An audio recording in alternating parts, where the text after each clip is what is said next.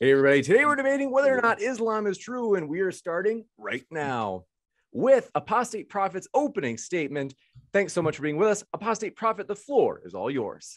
First off, thank you so much, James, for uh, organizing this. Thank you, Dr. Abdul Majid, for offering uh, this debate and for being here. Uh, I really appreciate the opportunity to have a proper, uh, fruitful debate on this. So, I want to uh, argue today for the idea, or as I see it, for the fact that Islam is not true, that Islam is false. And uh, I want to start immediately by sharing a presentation in order to get a better understanding of what we are talking about. If you can uh, see me, I'm uh, yep. weird down there in the in the bottom. That's that's that's good. Okay, this is how it works. So uh, we're talking today about why Islam is false. Um, Islam relies on the articles of faith as they are known. Some people know them as the pillars of faith or the, the, the articles of Iman. And these are uh, six in Islam the belief in Allah, the belief in prophets, the belief in scripture, the belief in angels, the belief in predestination, and the belief in the afterlife. Uh, some of these, all of these are relevant to us, but one of these, which is angels, uh, cannot be really be addressed today and is not very much relevant. It is more about the foundations of Allah, prophets, and scripture. We can elaborate on this whole issue more if we look at the Islamic creed. If you want to join Islam and you want to become a Muslim, then it is important not only to believe in Allah, but also to believe in Muhammad. The Islamic creed, the Shahada goes, I testify that there is no God but Allah, and I testify that Muhammad is the messenger of Allah. So it is not only sufficient to believe in Allah, but also to believe in Muhammad and to follow him fully. And in order to believe in Allah and Muhammad, you have to uh, also believe in the Quran and follow that to the fullest, because the Quran is taught to be the perfect word of Allah revealed through the mouth, the lips of Muhammad. So, what I want to do today is to uh, cross out angels entirely. It's not very much relevant. I want to focus on Allah together with predestination and afterlife because these are part of the entire doctrine of Allah. And I also want to uh, focus on the matter of prophets and on scripture. To be precise, when I say prophets, I want to precisely focus on Muhammad, and on when I say scripture, I want to focus on the Quran. Now, uh, when we come to the first topic, which is Allah, the major foundation of Islam. We have uh, several several thoughts here, several teachings, doctrines that come together with the belief in Allah. Those are that Allah created humans just so they worship Him. This is mentioned in Quran chapter 51, verse 56. Allah created life and death to test humans. This is in uh, Quran chapter 67, verse 2. I will not further mention the chapter and verses; they are all attached to uh, right at right at the end uh, to make it easier. Allah uh, predetermined everything before it happens in a register uh, known as the book before he created it. The teaching is that Allah creates everything, decrees what will happen, and then he cre- and then he brings it forth, and then it happens only by His will. It says further in the Quran that Allah guides and misguides whom He wills and that nobody can guide someone whom Allah has not guided. It says in chapter 10, verse 99 and 100, I want to emphasize this because this is very important to me. It says that uh, no one can believe unless Allah wants them to believe. It says, uh, if Allah wanted everyone on the earth to believe, they would all believe. And it says, no soul can believe except by the permission of Allah, very explicitly. Uh, further, it says in the first full chapter, which is Quran chapter 2, that Allah has set upon a seal upon the hearts of the disbelievers. And finally, one more example Allah created many humans for hell in chapter 7. But I want to go fully into uh, this verse briefly because I think this is very significant. The verse clearly says, And we have certainly created for hell many of the jinn and mankind. Jinn are not important to us. They are believed to be mythical parallel beings in the world. Uh, they have hearts with which they do not understand. They have eyes with which they do not see. And they have ears with which they do not hear. Those are like livestock. Rather, they are more astray. It is they who are the heedless. I don't want to focus very much on the whole, you know, moral discussion of uh, what it implies that the disbelievers are like livestock. I want to focus more on the fact that the Quran clearly says that Allah created humans for hell, and they have, and they cannot understand, they cannot see, they cannot comprehend. Now, based on this, uh, apparently I need to skip, skip you on the screen. Based on this, we have the following thoughts. Number one, Allah creates humans just so they worship Him, as the Quran says. But we also see that Allah creates many humans for hell. So He creates people just so they worship Him, but He creates many humans for hell. Allah chooses what people will believe in. He decrees everything before it happens. That means Allah also chooses disbelief for humans. He decrees it. Allah guides and misguides whom He rules. By this, we understand that Allah does not guide the disbelievers. On the contrary, Allah misguides the disbelievers. In the explicit words of the Quran, Allah leads them astray. Allah punishes the disbelievers uh, for what he decreed upon them for disbelief. And finally, the final thought is Allah punishes his own perfect design. The thought here is that Allah, before creating humans just so they worship him, he creates them in a very precise, very strictly designed way. He designs them exactly as they are. And then, with the capabilities, with the you know functions of their brain with their environment and everything that they have which he perfectly designed by his will. He eventually punishes them for disbelieving and he rewards others for believing although it is all his design his creation all his decree. Does that make sense? To me it doesn't. I think i see here many major contradictions. By this standard, by this approach, I would come to the conclusion that the belief in Allah is a little bit nonsensical. It's not very coherent. It's quite illogical. Further, when we come to uh, Muhammad, which is the second topic, we have certain thoughts about Muhammad, which is that uh, Islam relies on Muhammad's prophethood. Islam reveals the Quran, which Allah reveals to him through his mouth to the audiences. According to the Quran and according to the Islamic narrative, Muhammad always speaks the truth. Muslims have the obligation to obey Muhammad fully and to believe him. That's what the that's what the Islamic religion depends on. The Quran says that uh, Muhammad does not speak of his own desire. He is guided and inspired by Allah. He is always guided and inspired by Allah. If Muhammad makes false prophecies or you know spreads falsehood, he cannot be trusted, and Islam crumbles. I want to come to one specific uh, hadith, one specific narration about Muhammad that I find uh, extremely crucial, which tells us a lot about who Muhammad was and what he said.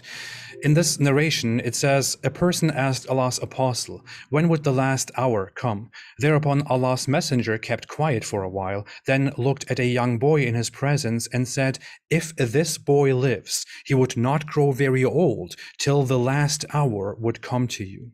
This is in Sahih Muslim and a very reliable hadith by, by, Islamic standards. So if it is not clear, the people come and ask him about the last hour, which, as it is uh, familiar in the scripture, refers to the day of judgment. He then stops and says, "When the, uh, before this boy grows very old, the last hour will come."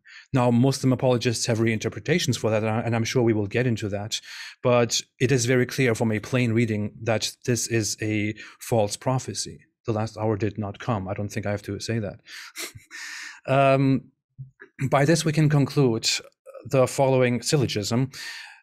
A, if Muhammad made false prophecies, then he is not a true prophet and Islam is false. B, Muhammad made a false prophecy. C, therefore, Muhammad is not a true prophet. Islam is false. We have, of course, more examples to that, such as that he said, "I and the day of judgment have been sent like this," and he made a, uh, you know, a, a, sign with his fingers, like very close. That soon there will be a huge treasure of gold uncovered by the Euphrates, which will go dry. The Euphrates did not go dry since then. That he said that Jesus will soon descend among you. Islam does take Jesus and reinterprets him. He says that there is a big turmoil at hand. This this tribe called uh, Gog and Magog will soon invade the world world never happened. We don't have any signs of such a thing. He said that the women of the Daus tribe will, will move around Dhul Khalasa. Dhul Khalasa was a temple like the Kaaba in Yemen that existed that Muhammad later destroyed. So this prophecy is no longer possible. And finally, he also says that the sun will rise from its setting place, which is a completely false description of the world. But we will come to that in the next and final step, the Quran. The Quran, we have certain teachings about the Quran, which the Quran tells uh, tells on its own. It says right at the beginning, "This is the book about which there is no doubt." It further says, "Then do they not reflect upon the Quran? If it had been from any other than Allah, they would have found within it much contradiction." So, by the Quran's own standards, since it is word for word the speech of Allah, if it is from Allah, then it must be 100% true. If there was only one mistake, then Islam is false. Now we have certain examples. Some of them are very popular. Others uh, are just uh, my favorites. It says uh, in the Quran that semen comes from between backbones and ribs. It says that stars are missiles that are thrown at rebellious devils. It says that the sun runs toward its resting place, literally, which is something that is explained even in more detail by Muhammad. It says that the moon has split asunder, the, the favorite belief that the moon has split in two in Muhammad's time, which is something that makes no sense because we would have uh, witnesses of that in the seventh century. We don't have a single one. The Quran further doesn't understand this, the nature of the sun, the moon, day and night, because it uh, makes it look like the sun has its light, the moon follows the sun, the day reveals the sun, and the night covers the sun. And further, it makes another mistake. I forgot to add the source here, apparently, that Jews say Ezra is the son of Allah in chapter 9, verse 30, which is something that comes out of ignorance. There is no such Jewish belief, and it has never existed as far as we know. So the Quran is not a book that is full of guidance. The Quran is a book that is full of uh, some basic ignorant statements, as we can see here. And by this, I want to uh, make the following syllogism. If there is only one mistake in the Quran, then Islam is false. There are many mistakes in the Quran, therefore, Islam is false. I went very quickly through these uh, arguments and, and sources, but uh, the point is that we have these foundations, the Quran, Muhammad, and uh, Allah, for in order to verify whether Islam is true or not. When we analyze these foundations very thoroughly, we clearly see that these sources, these foundations, are not reliable. They are very shaky. They uh, rest on very fragile grounds, and once further analyzed, they collapse and crumble, such as uh, just as Islam eventually then consequently crumbles. Therefore, I would say Islam is false with all the evidence that we have. I think that was 12 minutes, right? That was 12 minutes exactly. Thank you so much. So thank you very much for that opening statement, apostate prophet. And folks, want to let you know if it's your first time here at Modern Day Debate, we are a neutral platform hosting debates on science, religion, and politics. And we hope you feel welcome no matter what walk of life you are from. Also, my dear friends, we are very excited at the bottom right of your screen next week, a debate on whether or not the Bible promotes slavery. That's going to be an epic one. So don't forget to hit that subscribe button as you don't want to miss it. And so, with that, we're going to kick it over to Dr. Abdul for his opening statement of 12 minutes as well. Thanks so much for being with us, Dr. Abdul. The floor is all yours. Assalamu alaikum wa rahmatullahi wa barakatuhu. And again, the greeting of Musa alayhi salam. Assalamu ala man al huda. The peace and blessing be of Allah upon those people who follows Allah's guidance. So alhamdulillah, James, if you follow Allah's guidance, peace and blessing be upon you. And I'm not wishing bad for you. I wish good and future also. I wish that peace and blessing be upon you. And uh, Ridwan, peace and blessing of Allah be upon you too, because we are here to discuss. We are not here to, you know, curse anybody. So that's fine.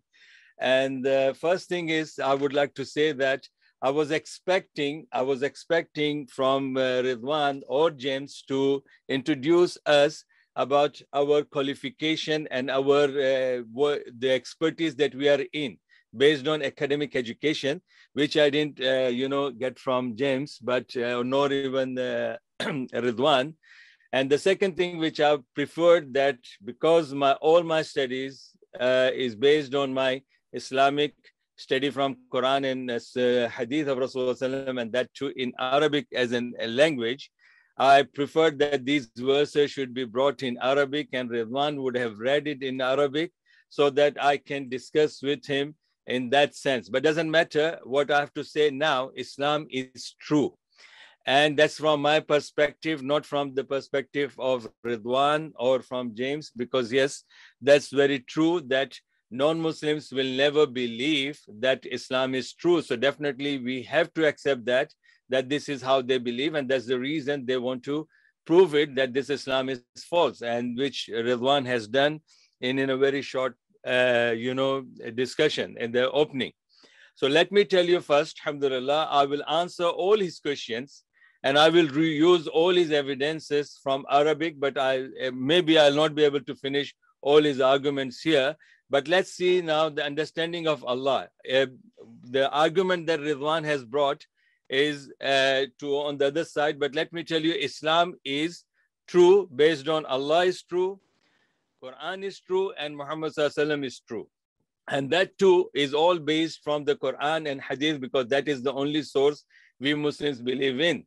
So when we talk about Islam, Islam starts with La ilaha illallah Muhammadur Rasulullah, which means it speaks about Allah and also it speaks about Muhammad and uh, truly, Ridwan said that when a person wants to become Muslim, he will say La ilaha illallah and Muhammad Rasulullah, that there is no God to be worshipped except Allah, and Muhammad is the messenger of Allah.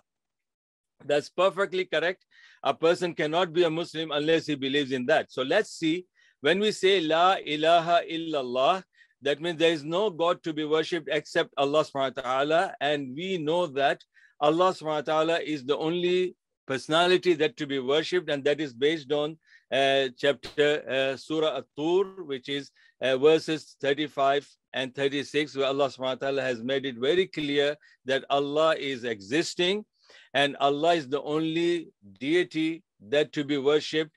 And the reason is Allah has put this question, Allah has put this argument to the people who do not deny the existence of Allah. Allah has put this argument, Allah has said that are they created? Let me read that verse to you, all those people. Let me read that verse in Arabic and I'll give you briefly the explanation of that. Uh, it is in Sotutur, as you know, and this is the chapter 52. I want all my audience, especially non-Muslims, I'm not worried about the Muslims, they have already said something they want to say. So now non-Muslims, please, if you have the Quran in front of you, please read this. This ayah says 52, chapter 52, verse 35 am khuliqu min ghairi shay'in am humul khaliqun or were they created by nothing or were they creators themselves? So this is the first question that uh, are they these people who deny you know the existence of allah so how did they come into existence? Did they create themselves? And uh, from what? Go back to daya am khuliqu min ghairi shay'in are they created from nothing? Am humul khaliqun, or are they creator of something? And then Allah says in verse 36 that Am khalaqu samawati wal arda, did they create the heavens and the earth?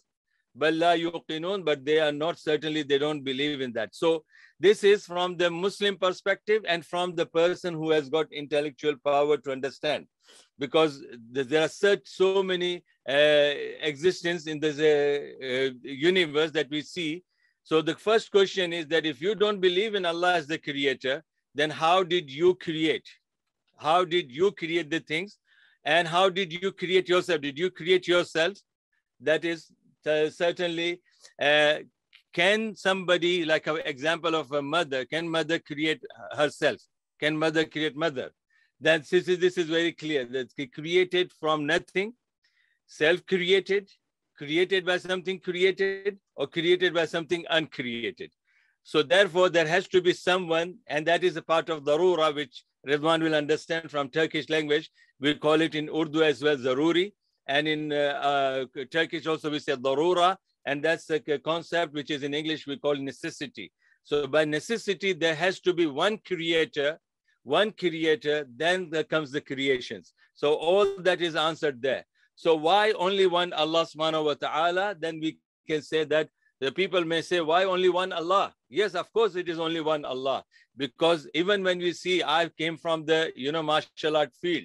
When you go into the ring, you cannot have, you know, two winners. They may draw, but still one will be still heavier than the other one or overpowering one over the another.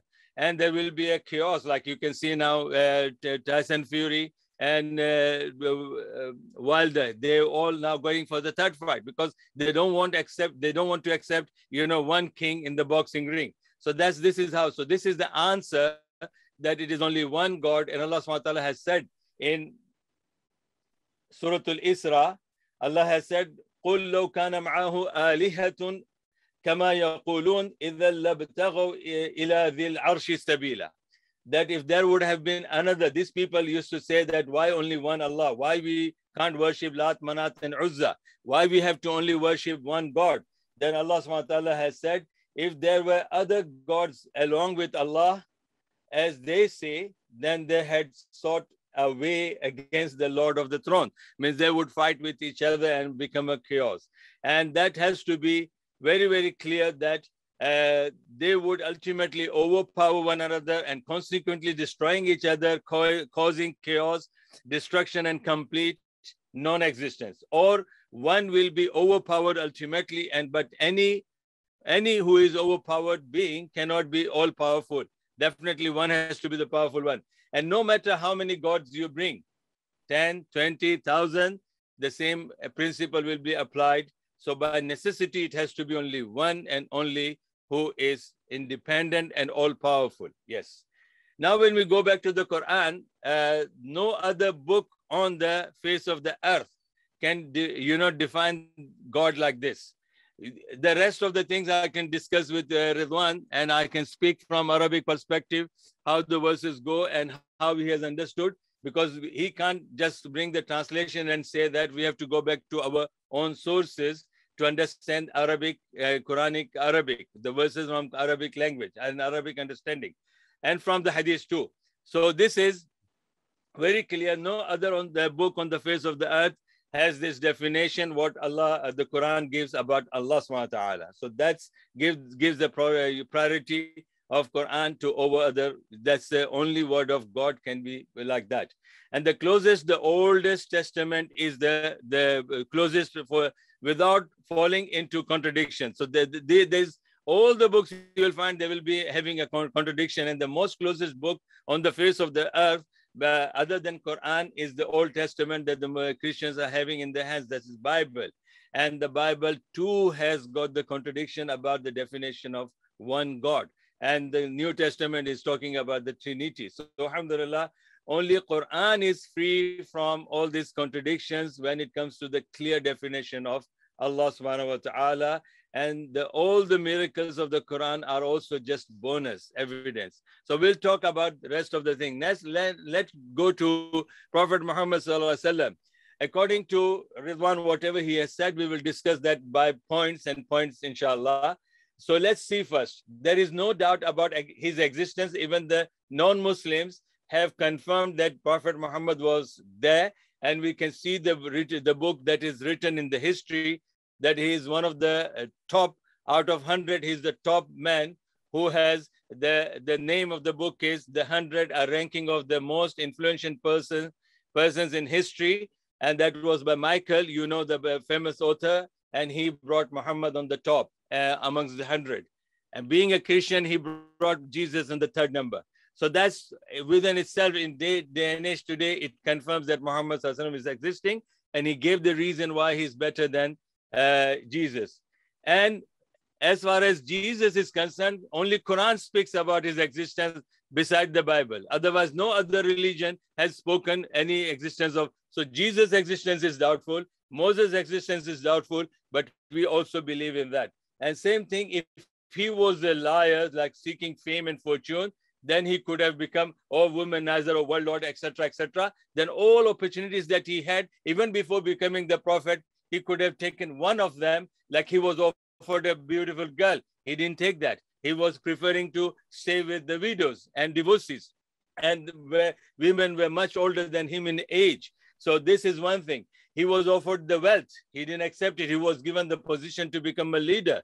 And he didn't say that. He didn't accept that and he was also given you know uh, so many opportunities to uh, and then finally they decided that he might be in delusions and he might be you know a possessed person. So they tried to get him his spiritual treatment. All these things have been proven wrong because he was someone who has brought the new civilization. He has changed the arab world in 23 years and he has brought all this you know, his Quran was a debate for the people who were known as the best poets of his time. And he was the best amongst them. He could have become a poet and could, could have got the fame and name. But all these things, and this was the problem today that the people they don't understand arabic but those people they understood arabic that's why whatever said by muhammad they did not accept it that it cannot be from a person like him he could be a magician or he could be a soothsayer or he could be a mad person because it's something is coming out of him which is not from a human being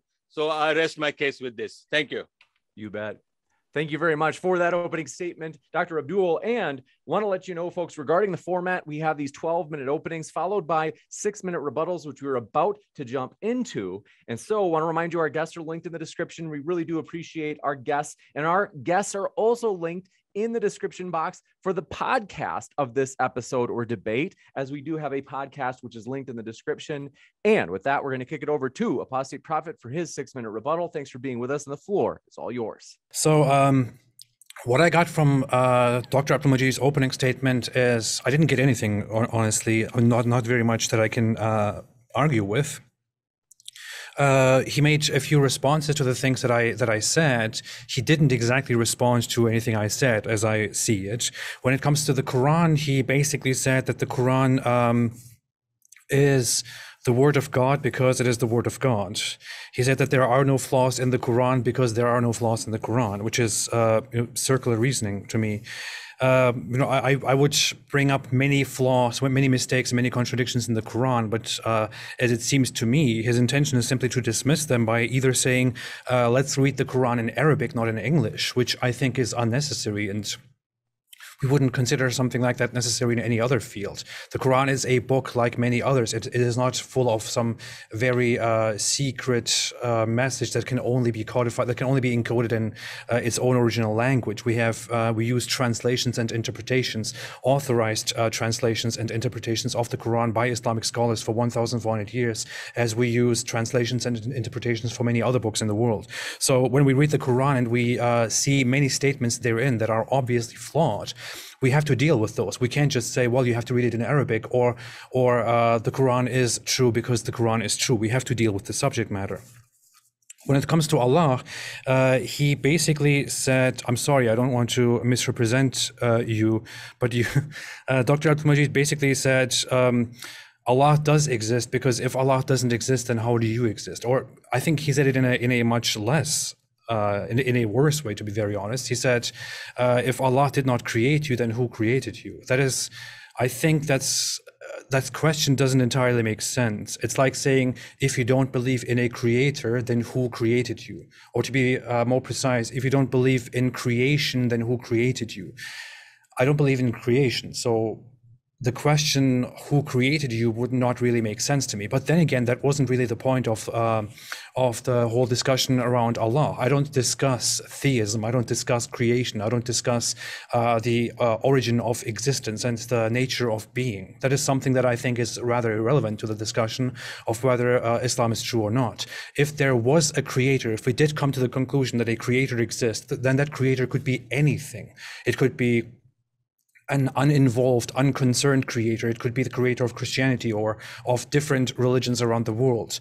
That doesn't do much to the question of whether Islam is true or not. Uh, he basically said Allah exists because Allah exists, but there was no evidence attached to that.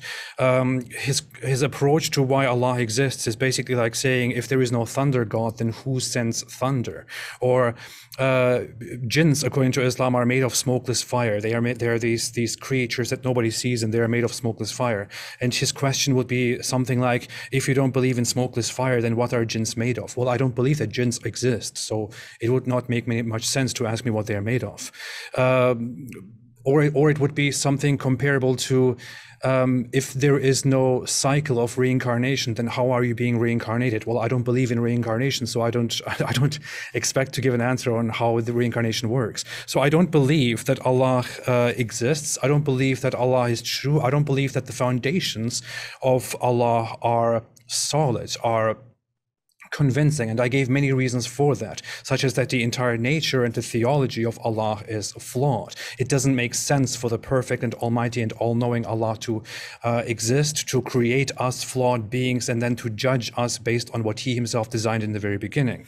Uh, if if i could be convinced that that makes it uh, sense that that is coherent then we could talk about the nature of allah but we haven't solved that problem. And we can't just skip one major problem and then go on to circular reasoning. When it comes to the issue of Muhammad, um, Dr. Abdul Majid basically uh, said that there is no doubt to his existence. I agree. Uh, uh, I wouldn't say no doubt, but I don't doubt his existence and I don't argue uh, against the idea that Muhammad existed. Honestly, it's rather irrelevant to me. What matters to me is that we have a character named Muhammad and whether he truly existed or not is very much besides the point. What matters is uh, all the things that he is supposed to have done and supposed to have said and whether we can rely on those things or not, whether we can take his prophecies as true prophecies or not. We have a lot of evidence that he made false prophecies. Of course, you could say we have a lot of evidence that he made true prophecies and that he was a good guy. But that doesn't mean much if we also know that he was not such a good guy and that he made false prophecies, which invalidate all the good. If you if you only made one false prophecy and we can verify that, then the 99 true prophecies can be dismissed because he made a false prophecy, and we have proof for that, if we have proof for that. Uh, when it comes to the whole issue of uh, Muhammad was a was the most influential uh, character, uh, and that was declared by in a list of the most of the hundred greatest characters in history, a list made by Michael H. Hart. It's not something that I consider relevant to the issue, but I still can't help but uh, comment on that. That is only one list of many lists in the world that were, were made about the most influential or greatest people in the world. That one happens to be one that lists uh, Muhammad as the first. The problem is that this list was made by a person called Michael H. Hart, who is not a historian. He is actually an astrophysicist and also a white nationalist, by the way, who has a problem with Christianity and who therefore wants to divide the influence of Jesus into Paul and Jesus okay. and put Muhammad on top of that. So, uh, in Muhammad being a good guy in, in, in an environment that is described by Islam as the age of ignorance, the, the pre Islamic Arabs who believed in the most ignorant things, is not really proof that he was a truthful prophet. Thank you so much. We will thank you very much. Apostate prophet, we will kick it over to Dr. Abdul for his six minute rebuttal as well. The floor okay. is all yours. Thank you very much, James. James, my humble request to you is that please, uh, if he needs one or two minutes extra to say, then that's very fine. And now I can only, you know, put down all his arguments with due respect to him. I, I have a very high respect for every human being, regardless of uh, what he says, what he does, and what he understands. Now, let me tell you one thing. He brought the uh, final thing about very academic point, which he has referred to Michael H. Hart. Okay, that's fair, fair enough. And he is he brought his qualification. He's saying he's not an historian. So my question to you, are you are you a clergy Muslim, ex-clergy Muslim?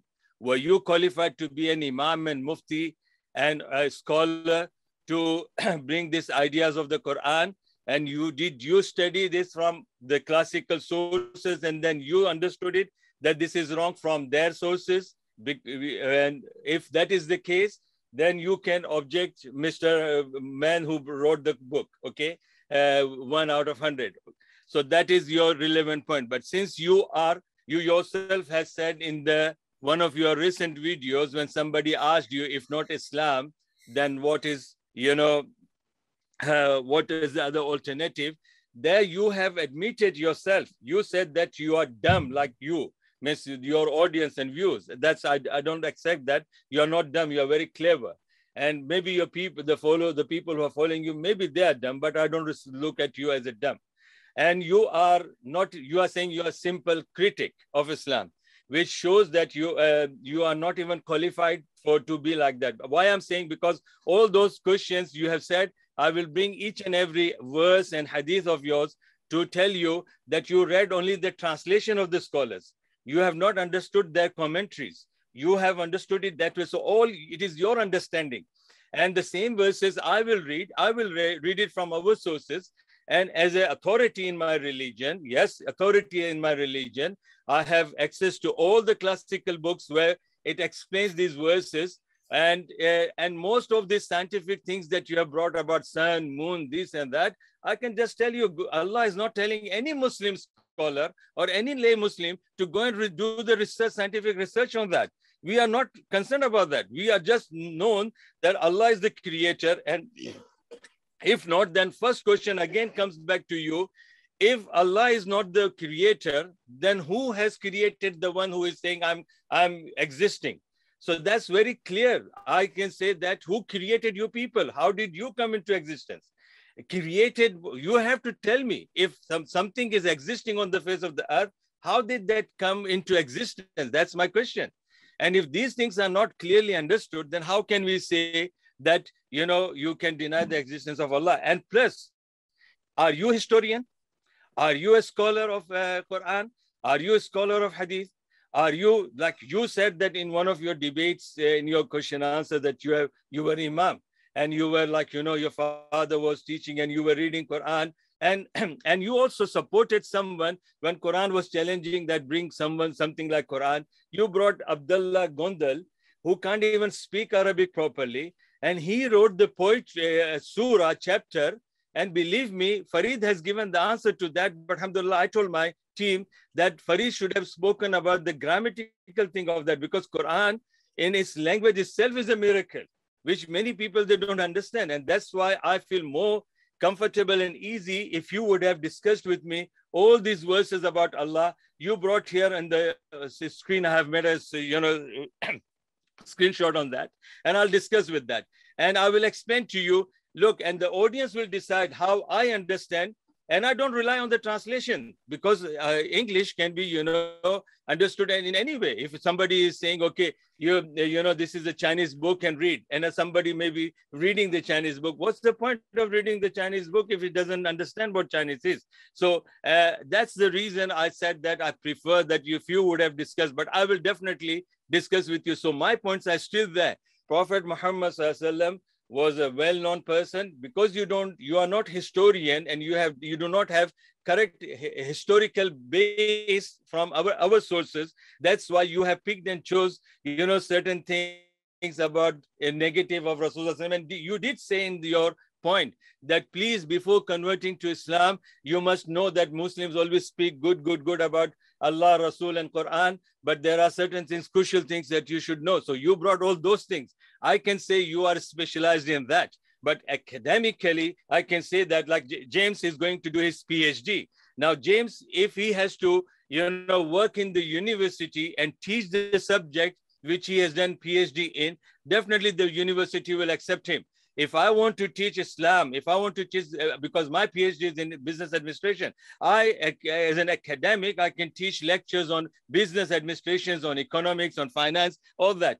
But as far as your part is concerned, I think that you have already uh, have got list of 13 points which you have put yourself very clear that you don't stand anywhere, even in criticizing Islam, because you're not even qualified to do that. So, but still, that is your understanding of the Quran and Allah and Rasul. So this is what I wanted to just end up here that your argument is still baseless because that is your understanding and your understanding is wrong. And inshallah, we'll discuss furthermore, inshallah. You got it. Thank you very much for that rebuttal. We're going to move into open discussion, folks. So, with that, gentlemen, I hand it over to you for the next 45 minutes in free and open dialogue.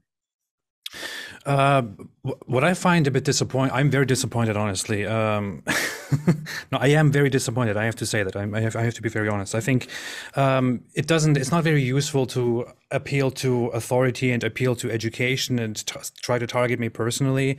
Uh, I don't do that. Uh, no, no, I, I talk to everybody regardless of their degrees. When I brought up Michael H. Hart, I brought him up because it was your appeal to authority, which I then responded to. I don't really care who writes what. Uh, the thing is, it doesn't matter what kind of an education I have. I honestly think that Islam is uh, very weak topic and that one doesn't need to be uh, very highly educated in Islam. I am very well educated in, in Islam and I keep reading uh, on Islamic creed and Islamic jurisprudence every single day. And I have been doing so for a long, long time. But I don't even think it is necessary. That is necessary. The, the issue is that I have presented a lot of uh, points, a lot of arguments, and a lot of evidence. And people are, I mean, the audience is waiting for those, for the evidence to be refuted and responded to. If we spend time just, uh, you know, targeting each other and, uh, you know, making accusations instead of, uh, or dismissing those arguments, then the issue will not be resolved and people will just go away from this by uh, concluding that uh, the evidence has not been refuted and you know the case against islam is therefore stronger. Dr abdul majid i mean that's just my observation no, no, uh, Ridwan, please, honestly, as I said that you're Olu, that means you're just like a son to me. I respect you for, for that, okay? Second thing, I didn't discredit you. You just brought the man and you compared his faith you said that he is not historian and he has problem with the christianity so i brought that thing that uh, if i compare him still he is an authority because he is a learned man and he's an author of great book and uh, like james again james when are you going to start the lectures in the uni james oh i already teach classes as an instructor but as uh, as i mentioned and don't, don't don't you know that academically when you want to teach a subject james won't they ask you about your qualification, your experience, your DBS, and etc. etc.? They, I, I don't want to get too involved in the debate. So just to be no, sure no, no, it's a James, conversation James, between James, you guys. I, I, I don't consider this as debate. I consider you people as my brothers in you know humanity. That's why I'm openly because this is I want the environment should be not debate as a fighting and refuting and no, just a Fair natural enough. understanding. Discussion then. Yes, yes this is the discussion and i'm just uh, because i'm a teacher myself i have been teaching here in the uh, universities and primary schools high schools so i know being an indian and having this qualification i had to go through so many other you know questions and prove myself that i'm qualified to teach. That's what i'm uh, just the, for that point. But as far as ridwan is concerned so if he if with your permission ridwan uh, we'll take allah's topic first and we'll talk about the six verses. If you give me enough time then can you can i speak that from arabic perspective well, uh, I mean, we, we would have to go back and forth. Uh, I mean, you you can talk about them. It's just we can't turn it into a uh, into a lecture on one part. I mean, you said we should. We're not supposed to. We're not expected to review the Quran scientifically. I completely disagree. I think no, no, we are no, supposed I, to review the Quran entirely, and we need, we need to know everything. So, can we discuss the points that I brought up, or can you bring uh, abs- can you bring evidence to tell us why Islam is true? Can you refute my evidence as to why Islam is false? Okay, I, will take that? your slide. I'll take your slide. Number one, you said that it is. Let me go to this verse first. Okay, we'll take about it, and then I'll give you time. And you you didn't tell me what is your main source of learning uh, this Quran. What is your main source? I read the Quran through myself uh, with um, transliteration Arabic and Turkish side by side in uh, twice when I was a Muslim. Uh, I read it again in Turkish when I was uh, when I left Islam or when I was leaving Islam. And after that, over the years, I have read the Quran in many different translations and interpretations in Arabic uh, with the Arabic transliteration. I don't speak Arabic. I only uh, analyze Arabic and know very much about the the structure of the language. But yeah, I've I've read it in many different authorized translations any any uh, our our classical book of commentary did you read any specific so I, I read big chunks of of uh, Tafsir Ibn Kathir. I read big chunks of uh, of Tabari as much as it is available to me. It's not available fully in English, so it's it's a bit problematic. Uh, and some other is tafsirs the, I did. Is this the Tabari Tabari that you read? What uh, Abdullah Gundal was saying, uh, Jalalul Tafsir Jalalain?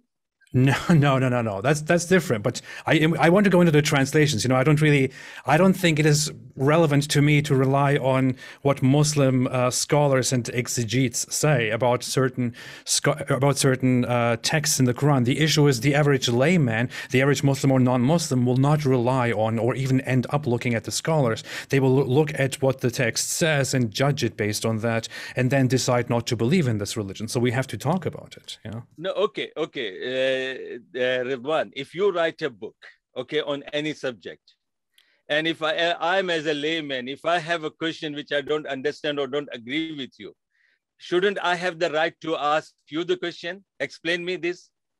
Sure. But the thing is, if I read somewhere people asked Muhammad, when is the last hour? And Muhammad said, before this boy gets old, the last hour will come. Then I will say, uh oh, he made a false statement. Look at this. I will not go to a scholar and say, can you please explain, can, can anybody please explain this to me? Please explain why this is uh, actually not false, why this is actually true. You know, I, I will have to look at the text and conclude what, what it says. Okay. Okay ये किताब सुन्ना में जाओ okay सुन्ना dot com में ये हदीस लेके जाओ okay I come back to that but I tell you when you are saying about uh, that particular hadith, I'm not going into that because I want to deal with every evidence of yours step by step. So that's what I'm saying. You know, you you cannot say you cannot say that the Quran, you know, can be understood or can be accepted or can be rejected just merely reading the translation. There are thousands of translations are there. And the one, one translation can be, you know, eh, have you studied the eight parts of speech of English grammar? Sorry, this is not test. I'm, I'm saying uh, just generally, because see, when you read uh, the uh, English translation of the Quran, there are pronouns, pronouns which are singular pronouns, and there are role pronouns. And they, the role pronouns can be plural form, like we, nahnu, like that. So I'm saying that based on that, the translation could be different. And in English, we have uh, dual and singular and plural, but there is no specific word to define numbers two, like two, two things, dual. But in, in uh, maybe, uh, please uh, excuse me, my uh, accent could be different because I'm, English is not my first language. So don't make a joke of my English language, okay? No problem. Okay, second thing, in Arabic, we have, we have, when we say one pen, qalamun. When, when we say two pens, we say qalamani. When we say more than two, we say aqlam. So in Arabic, the translation cannot be reliable source. And if somebody brings the Quranic verse and speaks about the science which was uh, something that was revealed into 1400 years ago, and the science is saying something today, maybe after 10 years, the science would change its mind and come up with another theory. So you are basing your, you know, uh, argument based on the science, or you are basing, you are putting your argument based on the Arab English translation. That's unfair, Ridwan. You have to reflect back. If you really, I can say that, look, look, if you would have been Hafiz of Quran, yes. And if you would have been scholar in Arabic literature, which I am, I've done my master's in Arabic literature. I'm not showing off, but I'm telling you that if, if you have got that you know, education to understand the Arabic of the Quran, and you have referred to the Tafsir ibn Kathir, Tafsir Tabri, not the Jalalain of uh, Abdullah Gundal. He can't even know who is the author of the Jalalain, and he's bringing Imam Tabri. And you brought his... let's let's not attack uninvolved people here. That's that's not the point. No, no, no. You brought his his surah. You brought his surah to defend the argument that the Quran can be chapters can be produced. And I thought that Ridwan, if I had your personal number, I would have explained to you, Ridwan, this is a serious grammatical mistake in his first verse. So, okay, let's go to the. the so here, here is the issue, Dr. Abdul Majid. Here's the problem. Uh, so, um, what you're suggesting is basically we have many authorized Quran translations. Some of them were authorized by very high uh, Islamic authorities. We have uh, Sahih International, we have uh, Pickthall, we have, I don't know, Muhsin Khan, we have all these English translations. We have new ones that are, I don't know, uh, MAS Abdul Halim or whatever it's called. Uh, we, have, we have these very authorized, very, uh, you know, good, accurate translations of the Quran. We have translations in different forms. These are authorized. Uh, you are basically trying to dismiss the authorized certified Quran translations. On the other hand, we uh, it is a little bit absurd to expect that in order to understand, in order to uh, judge, and in order to believe in the Quran or disbelieve in the Quran, we would have to read it in its or, or original language. That's an unrealistic expectation. The vast majority of Muslims no, no, don't speak Arabic and don't language. understand Arabic. People who convert to Islam don't understand Arabic. Most Muslims don't understand Arabic. It is you would have to rely on certain people who can tell you anything. No, no, because Ridwan, if they don't know, I know so many. Uh, I, will speak with those verses. Please give me time. I'm not escaping. I'm not running, and I'm. The thing uh, is, we should focus on we should focus on the evidence instead of trying to argue about uh, about the issues around it. Based on the translation, that's what I'm saying. So okay, then, then, then let's talk about your interpretation of it. Yes, you are, and the translation will not give you the something that has been revealed 1400 years ago. Okay, then And tell me where it's wrong people- and tell me the correct version of it. Okay i'm telling you i'm telling you, i'm coming to you. Somebody something has happened 14 years ago and now you are just bringing one sentence of that and you're bringing the whole uh, making a whole story about it.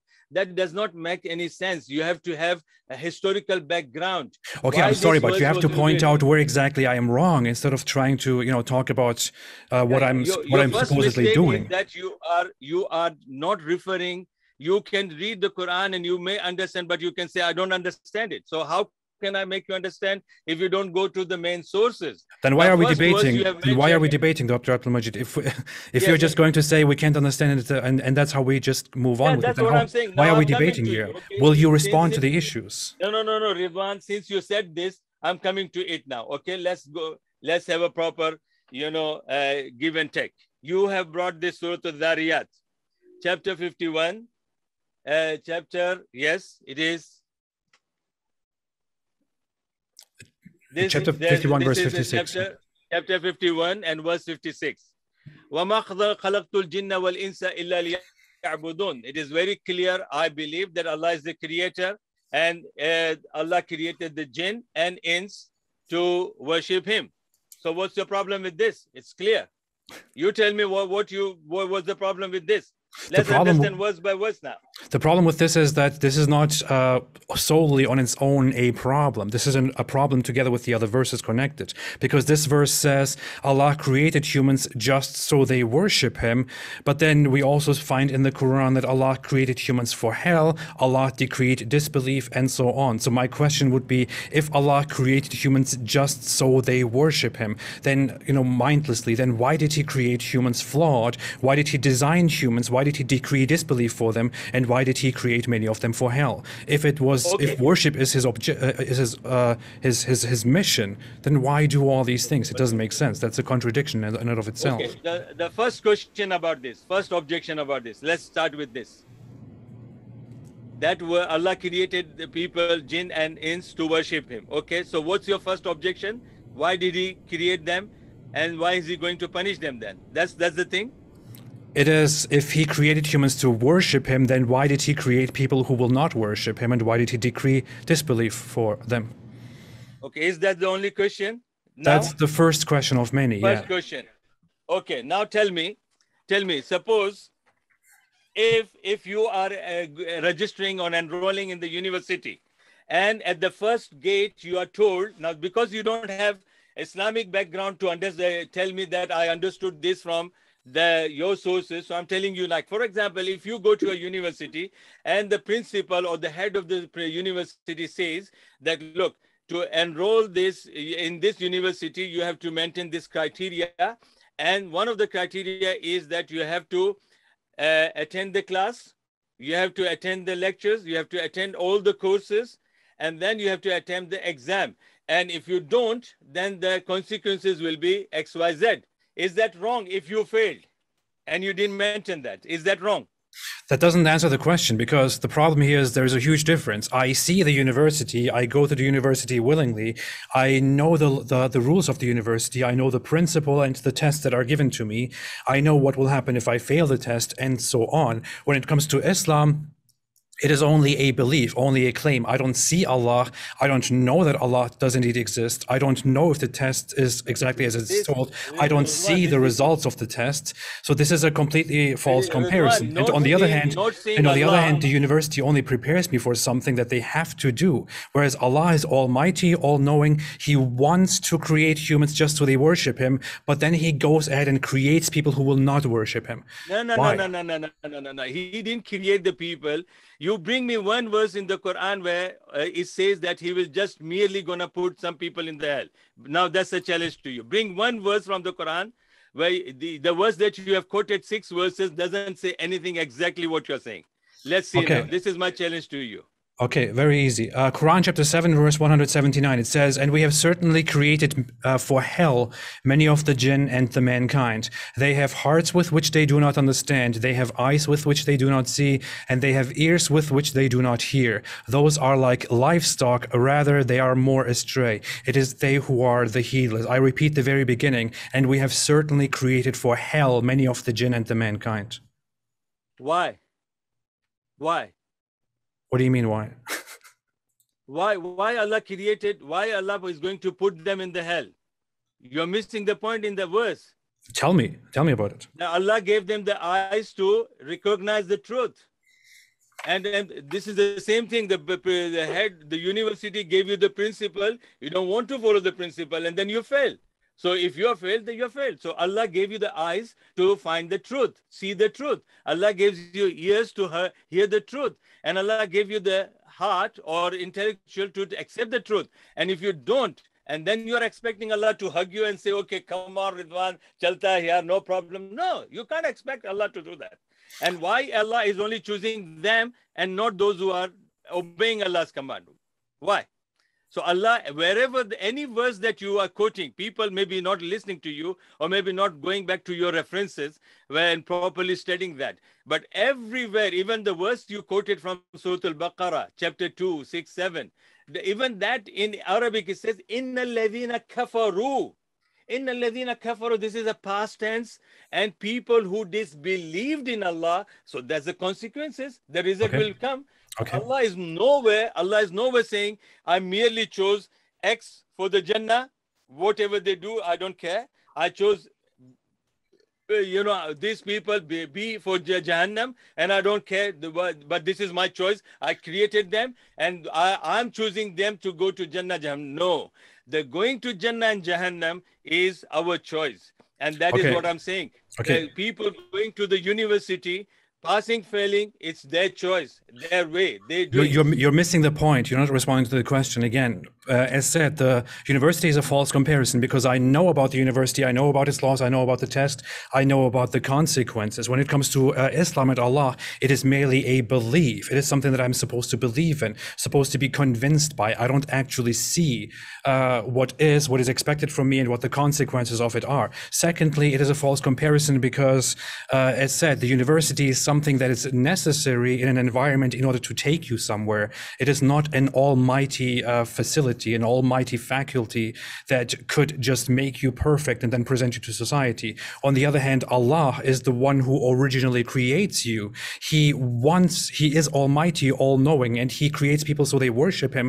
But then He goes ahead and He designs me, for example. He designs me exactly as I am, with my brain, with my eyes, with my capabilities, with everything and my environment in such a way that I will be uh, eventually unable to believe in him and eventually make the mistake of not believing in him and go to hell. This is what he created. So he punishes me for his own creation and his own decree. My capabilities were he were created entirely by him because everything is cre- his creation, and my choices in life were entirely decreed by him because everything is his decree. Nothing that I do can logically be outside his design, outside his creation, outside his decree. So if Allah wants to create humans just so they worship him, then why doesn't he just create people so uh, who worship him okay. and instead creates people and designs them for disbelief and consequently for hell?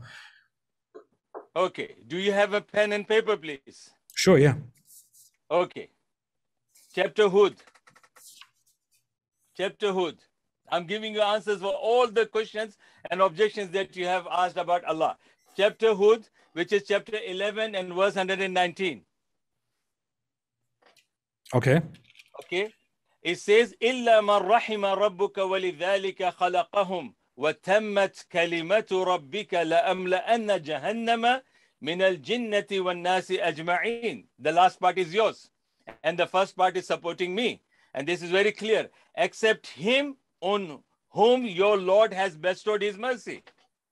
Except, you see, Allah is saying that there are followers of shaitan and they followed him instead of following Allah And this is this is not Allah is not saying what Allah has destined for you. Allah has already, and I'll bring all these evidences to answer your question. This ayah it says that Allah created all the people to believe in Him.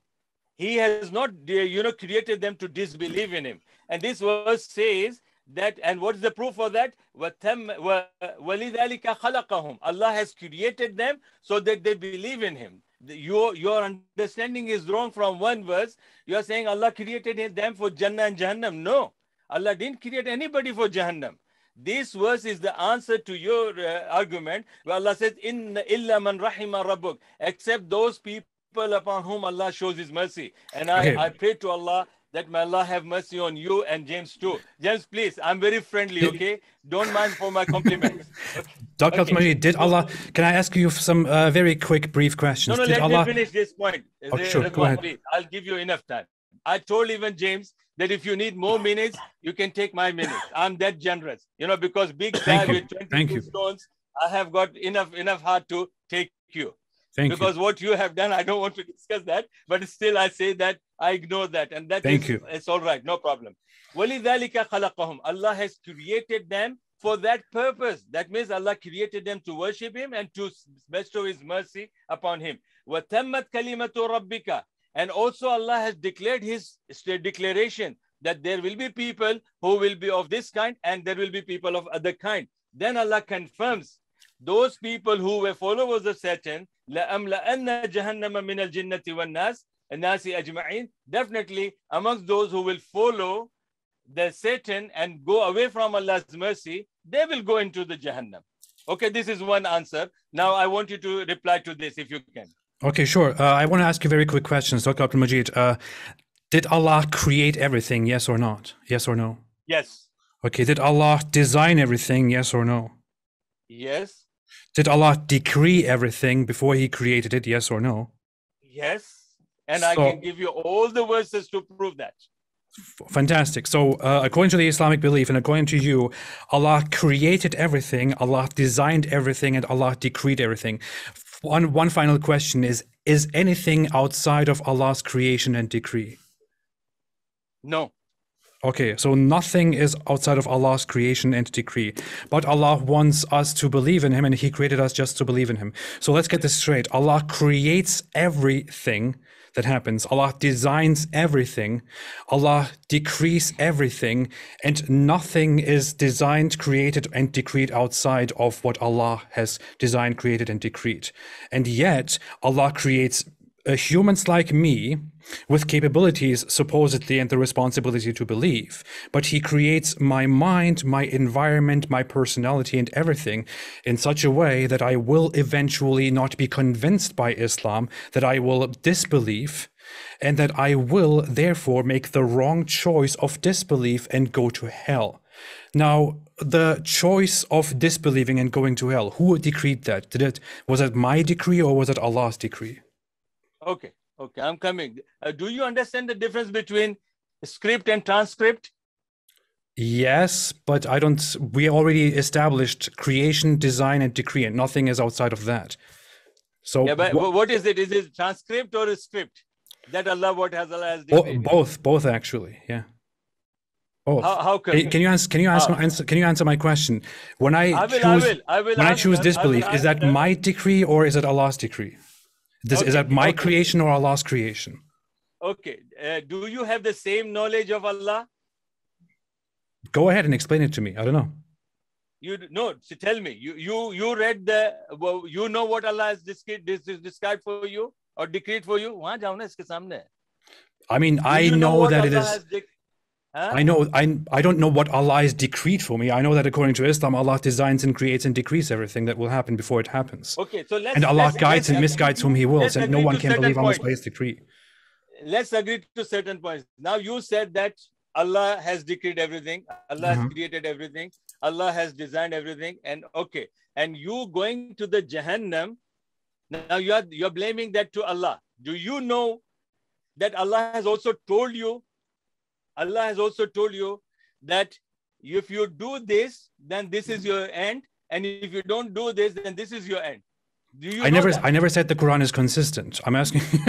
I, no, I'm no, asking no, I'm you. not saying about Quran. No, come on, stick to the point. We are talking about the decree of Allah. Yeah. Okay. Allah has decreed everything. Do you know what Allah has decreed for you? I can't know what Allah has decreed for me because I don't believe Allah is real. So Yeah. So that means now going, uh, you are choosing whatever you are choosing is your choice because you don't know whether Allah has decreed or not. For me, if you ask me, if you ask me, do you believe in Allah? I'll say, yes, I believe in Allah. Do you believe in decree, the decree that Allah has made, a script or uh, transcript, which you are saying both are same, which I can say even James will correct you, it's not same. Transcript. no, I say within the context of Islam, it's the same. No, no, no, no, no, no, no, no, no. no. Dr. Abdul Majid, did you, uh, did you choose, did you decree that you would believe in Islam or did Allah decree that you would believe in Islam? What? Did you decree that you would believe in Islam or did Allah decree that you would believe in Islam? I have a reason to believe in Allah. Okay, but And did, a but did you I decree this or did Allah Allah's decide guidance. this? Huh? I have a reason to follow Allah's guidance. I understand Why? that. I understand that. But did you decree and decide this or did Allah decree and decide this? I don't know what Allah has decreed for me, but Allah told me what to do. That's my co- uh, argument. Okay, but I'm not blind. No, no, no, no, no. I'm not blind having eyes. I'm not deaf having ears. And I'm not dumb having brain to understand. So my thinking is that Allah decreed something for me, but I don't know what. But okay, Allah, but eventually Allah decreed it, right? So uh, the, the point is not uh, what will eventually happen. The point is whatever No, happens, you are did jumping- you decree it or did Allah decree it? Ridwan, you are jumping, you are going to the destination, yet you have not chosen the route. But that's what matters. Is it Allah's decree or is it your decree what eventually happens? No, no. Why you're talking about Allah now? We are. I said to you, I believe this is Allah's decree, but Allah, Allah is not saying, okay, I decreed, you know, Jahannam for Abdul Majid and Jahannam for Ridwan. Allah didn't say that. Okay, but I'm asking you. But I'm asking you. Is, is this is decree a script? But I'm asking you. So let's say hypothetically that you will end up with belief and you will die as a believer.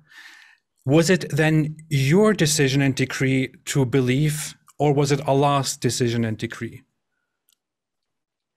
Rizwan, I already answered you. What is the answer? I, I, I don't hear the answer. I already answered you that whatever Allah has decreed, I have not a single doubt about it. But, but what Allah has decreed for me, and I challenge you what Allah has decreed for you, nobody, even the third party cannot say. So I, I understand say- that. I I understand that, but you're not So- asking. You're, so- you're not no, answering no, my no, no, question. Let's stop here.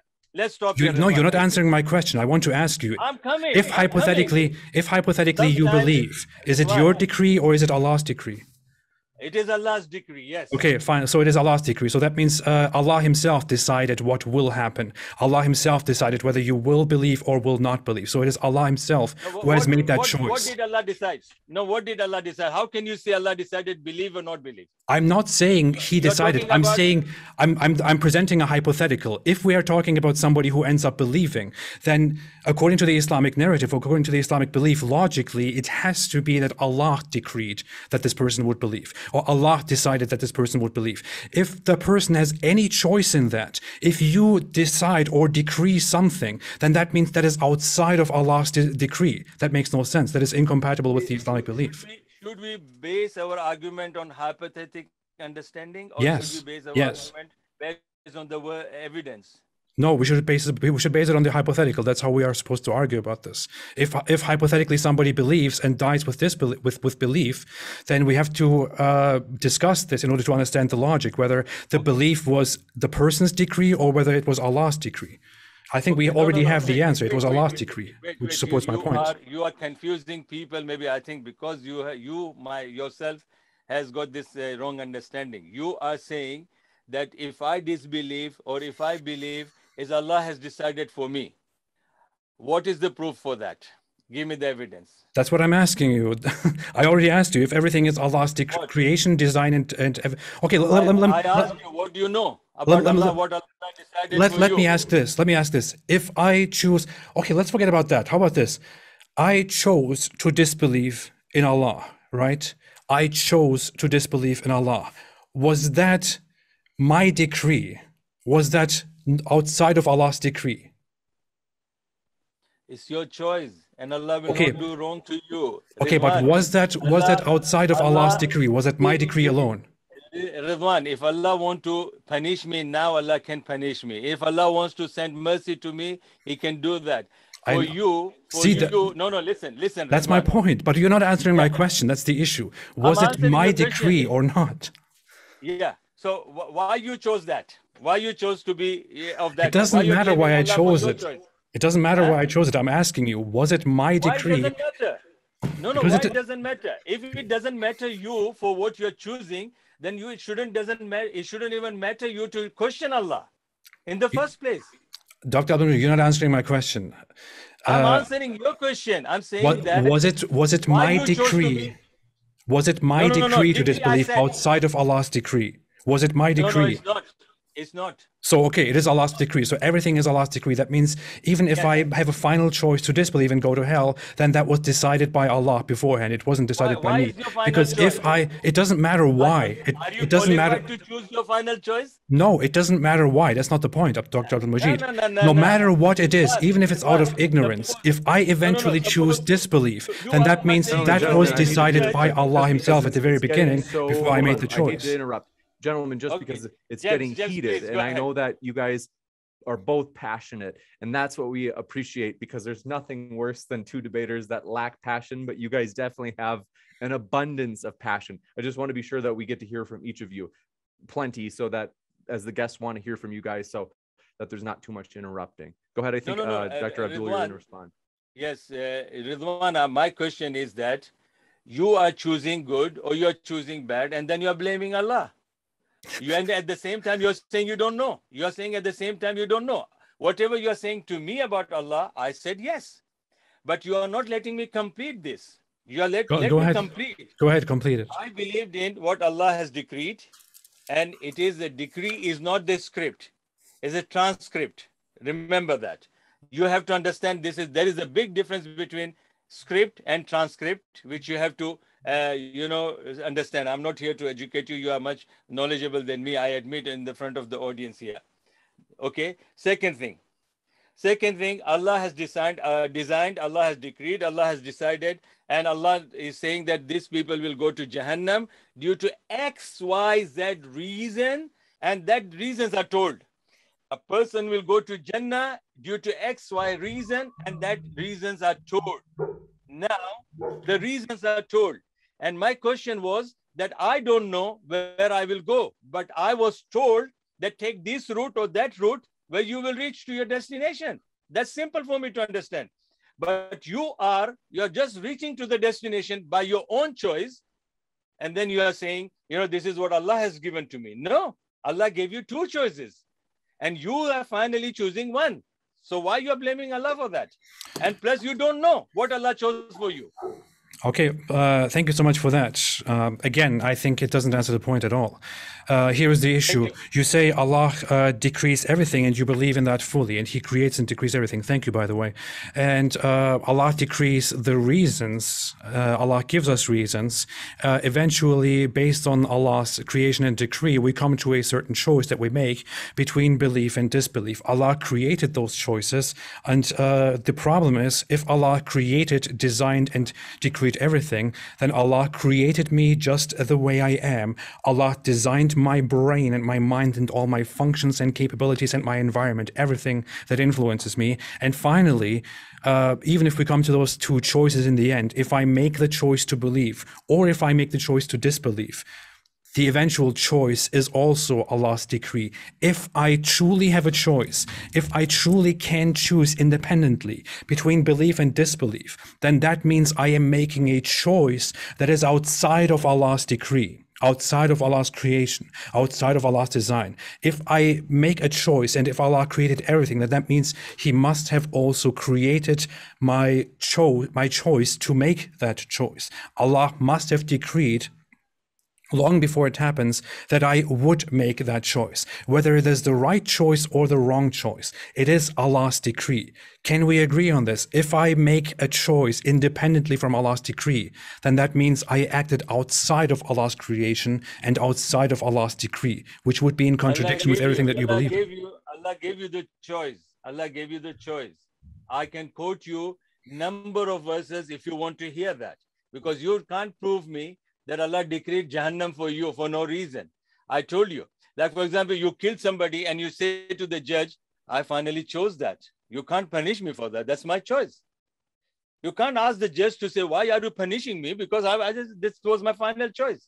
The difference No, is that the judge is not almighty and he didn't create me at my choice. Ah, there you are. There you are. So that's why you are. The judge will say, No, my dear Ridwan, my Habibi Ridwan, a killing person, you know it's a crime. And killing a life, you have to uh, spend time in the prison.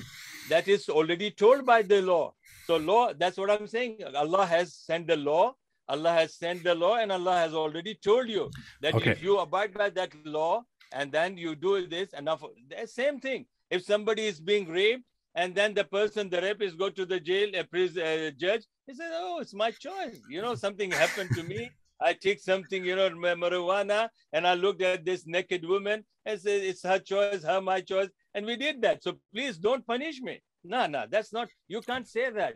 And then, then the judge will say, no, a woman can walk anywhere she likes, but you are you Okay, have to maintain okay. it. So I, I want to conclude the topic because I don't think we will get anywhere with this. But uh, I appreciate the discussion. But I want to conclude it. Uh, of course, you can add to it as much as you want. We should maybe move on to the next question after that. But I want to conclude it by just saying one thing, Dr. Abdul Majid. Uh, here's what I think: uh, If I die and I go and stand before Allah, and Allah judges me and tells me and asks me why I disbelieved, or He judges me based on my disbelief, I will say to Allah, Hey, uh, don't you know you are the Almighty, all knowing Creator? Are you not aware that you created me in the very beginning and designed me exactly as I am, as the stupid, flawed, or smart, uh, great being that I am, and that you decreed long before me what exactly I would do, and you even made my final choice for me? It was your decision. If I had a final choice, then that would be outside of your decree, which would be in contradiction with the fundamentals of your whole religion. So therefore, it is your fault. But go ahead and punish me if, if that's you function. Obviously, you are not very logical. That's what I will say to Allah when I die, and if Allah exists. That is how I want to rest my case. If you want to add anything to it, do please do. Let's move on to the next issue then. Uh, no, no, no, no, no, no, no, no, no. Let me let me conclude myself. Come on, give No, me yeah, the, no, no. the I'm, I'm saying do it. man. I'm saying do it. Go ahead. Okay. No.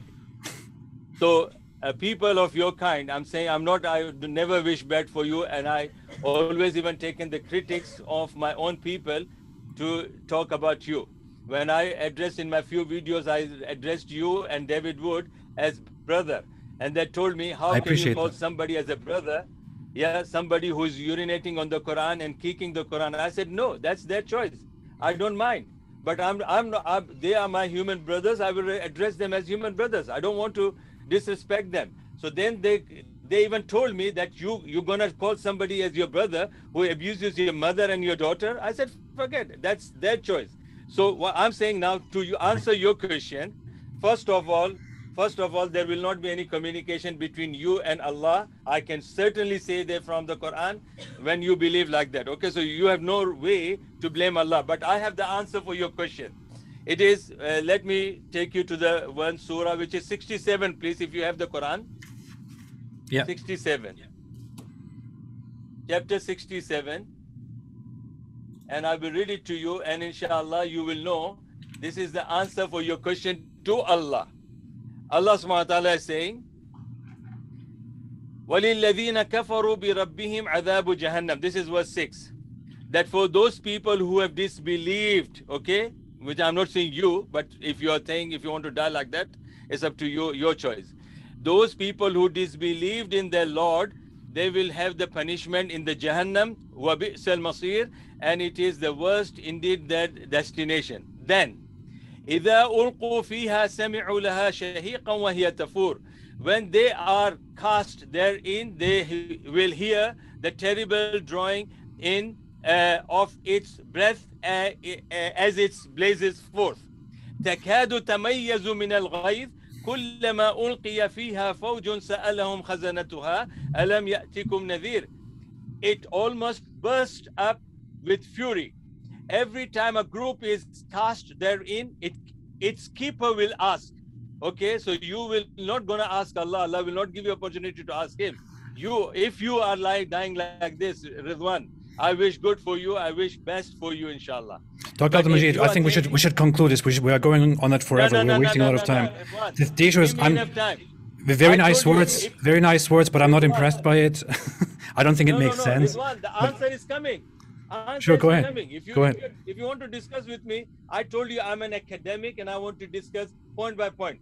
Bringing Okay. all the thousand verses and one, not even one is understood, then that's not point. You can bring the whole Quran. It has got six thousand verses plus.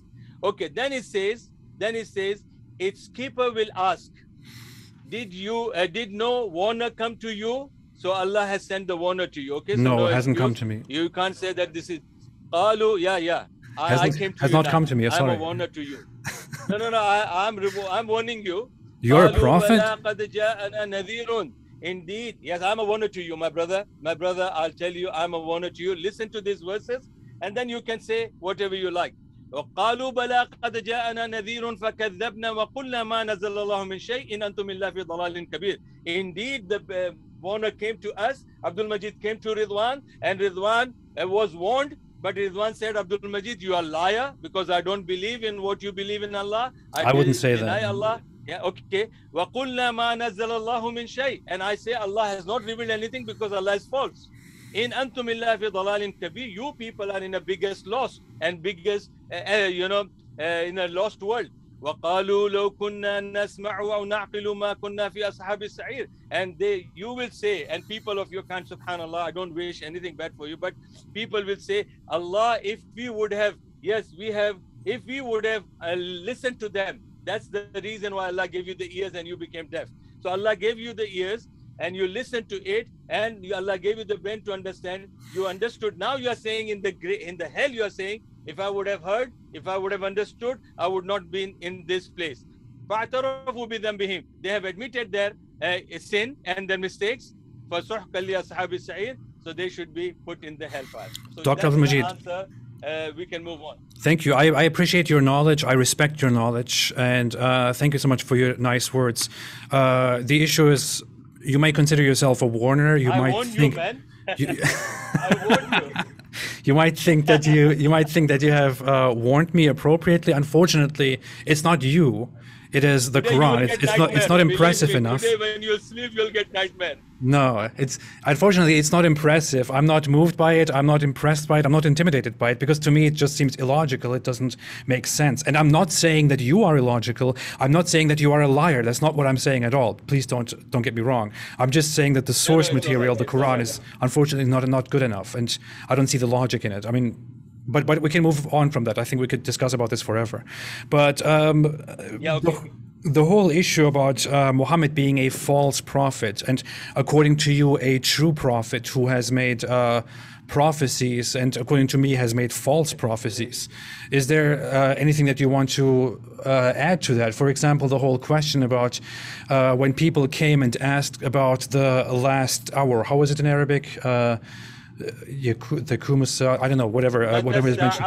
Yeah, yeah, sa'a. okay, yeah, that's exactly what's, what's mentioned there. So the, the the the last hour within context in other hadith explicitly within the with the same words referring to the day of judgment. People ask him ask him when the last hour will come, and he keeps quiet for a while. Then he looks at a young boy in his presence and says, "If this boy lives, he will not grow very old until the last hour will come to you." That's what he says in Sahih Muslim, uh, book 54, uh, hadith 172, and also in many other related hadiths. This is to me and to many people on a plain reading a false prophecy. Okay, Ridwan, Ridwan, uh, do you want to discuss about this? And if I if I say something about this hadith, uh, I'm not convincing. I always in my uh, Juma khutbahs I say to the people, even the Christian scholars they attend my Juma khutbah, they come before the adhan and they attend my Juma khutbah. I tell them I'm not convincing you guys. I'm convey, conveying what I believe. Okay, sure. Okay. No, that's that's So, that's fair. Now let me tell you, you are quoting this hadith, which is I'll tell you this hadith, and now I'll take you to the hadith. Now let's understand. You are uh, pulling me to a right field. You know, you Got are about a- must, you must Got a been- minute left. I'll give you the last word, Dr. Abdul. And so maybe if you can wrap it up in maybe a minute to two minutes at the most in Oh. answering apostate prophet's question, and then we have to go jump into the Q and A. Okay, this this this hadith is not from one book. I'll tell you, this hadith is found in different books of hadith, and this book, I'll tell you, I'll quote you the narrations, and this hadith is not talking about the day of judgment. It's talking about the death of the people. is talking No. about the death of the people and we as muslim traditional understanding of our scholars and our religion that a person when he dies that's his qiyamah starts and this is what Rasulullah was referring. And you see the last part of Anas in the same quotation of yours. And that Anas said that this young boy was of our age during those days. So Ridwan, you are talking about the day of judgment. And I can give you the credit for that because you don't have the deep understanding of this ahadith and you only pick up one hadith and you talk. And this No, is the there, there are many. This is just one of them, and this is about the day of judgment. They they clearly ask about the day of judgment. It's it's uh, no, no, no, implausible no, that he would then no. Reply gotta- with what we've got to do your is death. I've got to give. I can give you 30 no, no, seconds. Ridwan, this is Abdul this to, hadith to wrap up. specifically talks about the death of the person. It, it doesn't. It's And clearly asked about the day is of judgment. It clearly asks about the last hour explicitly with the Yeah, same in words this that many other. in, this, in these words, in these words, but the same hadith is found in 12 different places. And that Must- we can have a separate discussion. But this is your I- I- interpretation. The, the text clearly talks about the last hour. It is true. We could potentially have a, an additional. yeah, yeah, no, no problem, conversation. James. No We problem. will I always- answered. I answered. I- and I think we, we can move on to the QA. It's we, fine. we have so many questions that I do want to jump into the Q and A, and it is absolutely true. We could do a part two of this discussion as it could be ongoing. I love it. I love so it. we I uh love we it.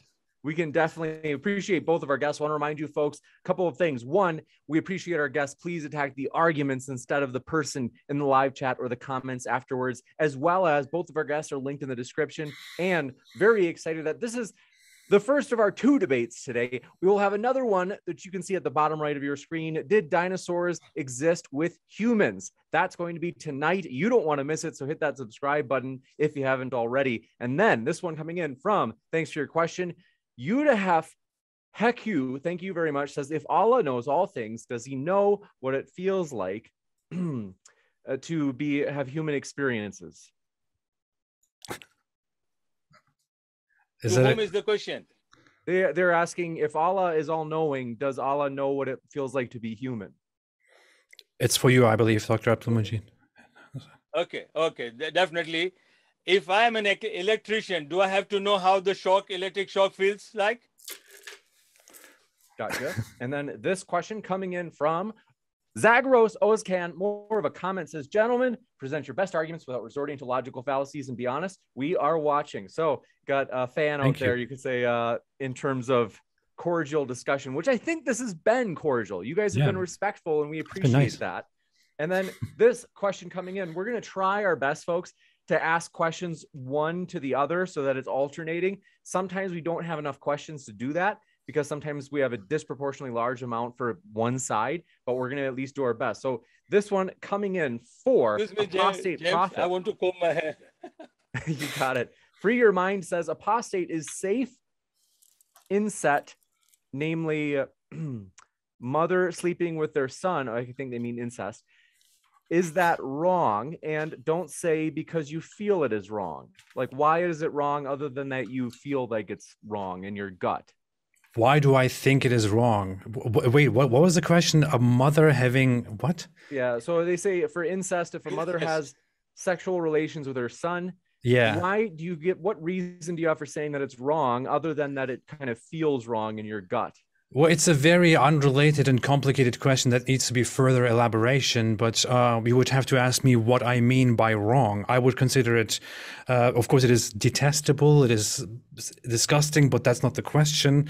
Uh, I would think it would be uh, stupid and heavily dysfunctional because it would potentially lead to uh, a very destructive, horrible outcome of deformed humans deformed offspring it would also generally lead to you know societal decline in terms of i don't know in, incest is something that has been proven by scientific means by our general understanding long ago to be something that is extremely detrimental to the human health. And it is it is it is just it is it is terrible to cause this for another human being because we have the sense of empathy and compassion. It is terrible to cause it upon yourself. Why cause more suffering? Suffering is objectively uh, you know wrong in so many different civilizations for a reason because it's not it's it's contrary to our desire to our most natural desire to flourish and to be well.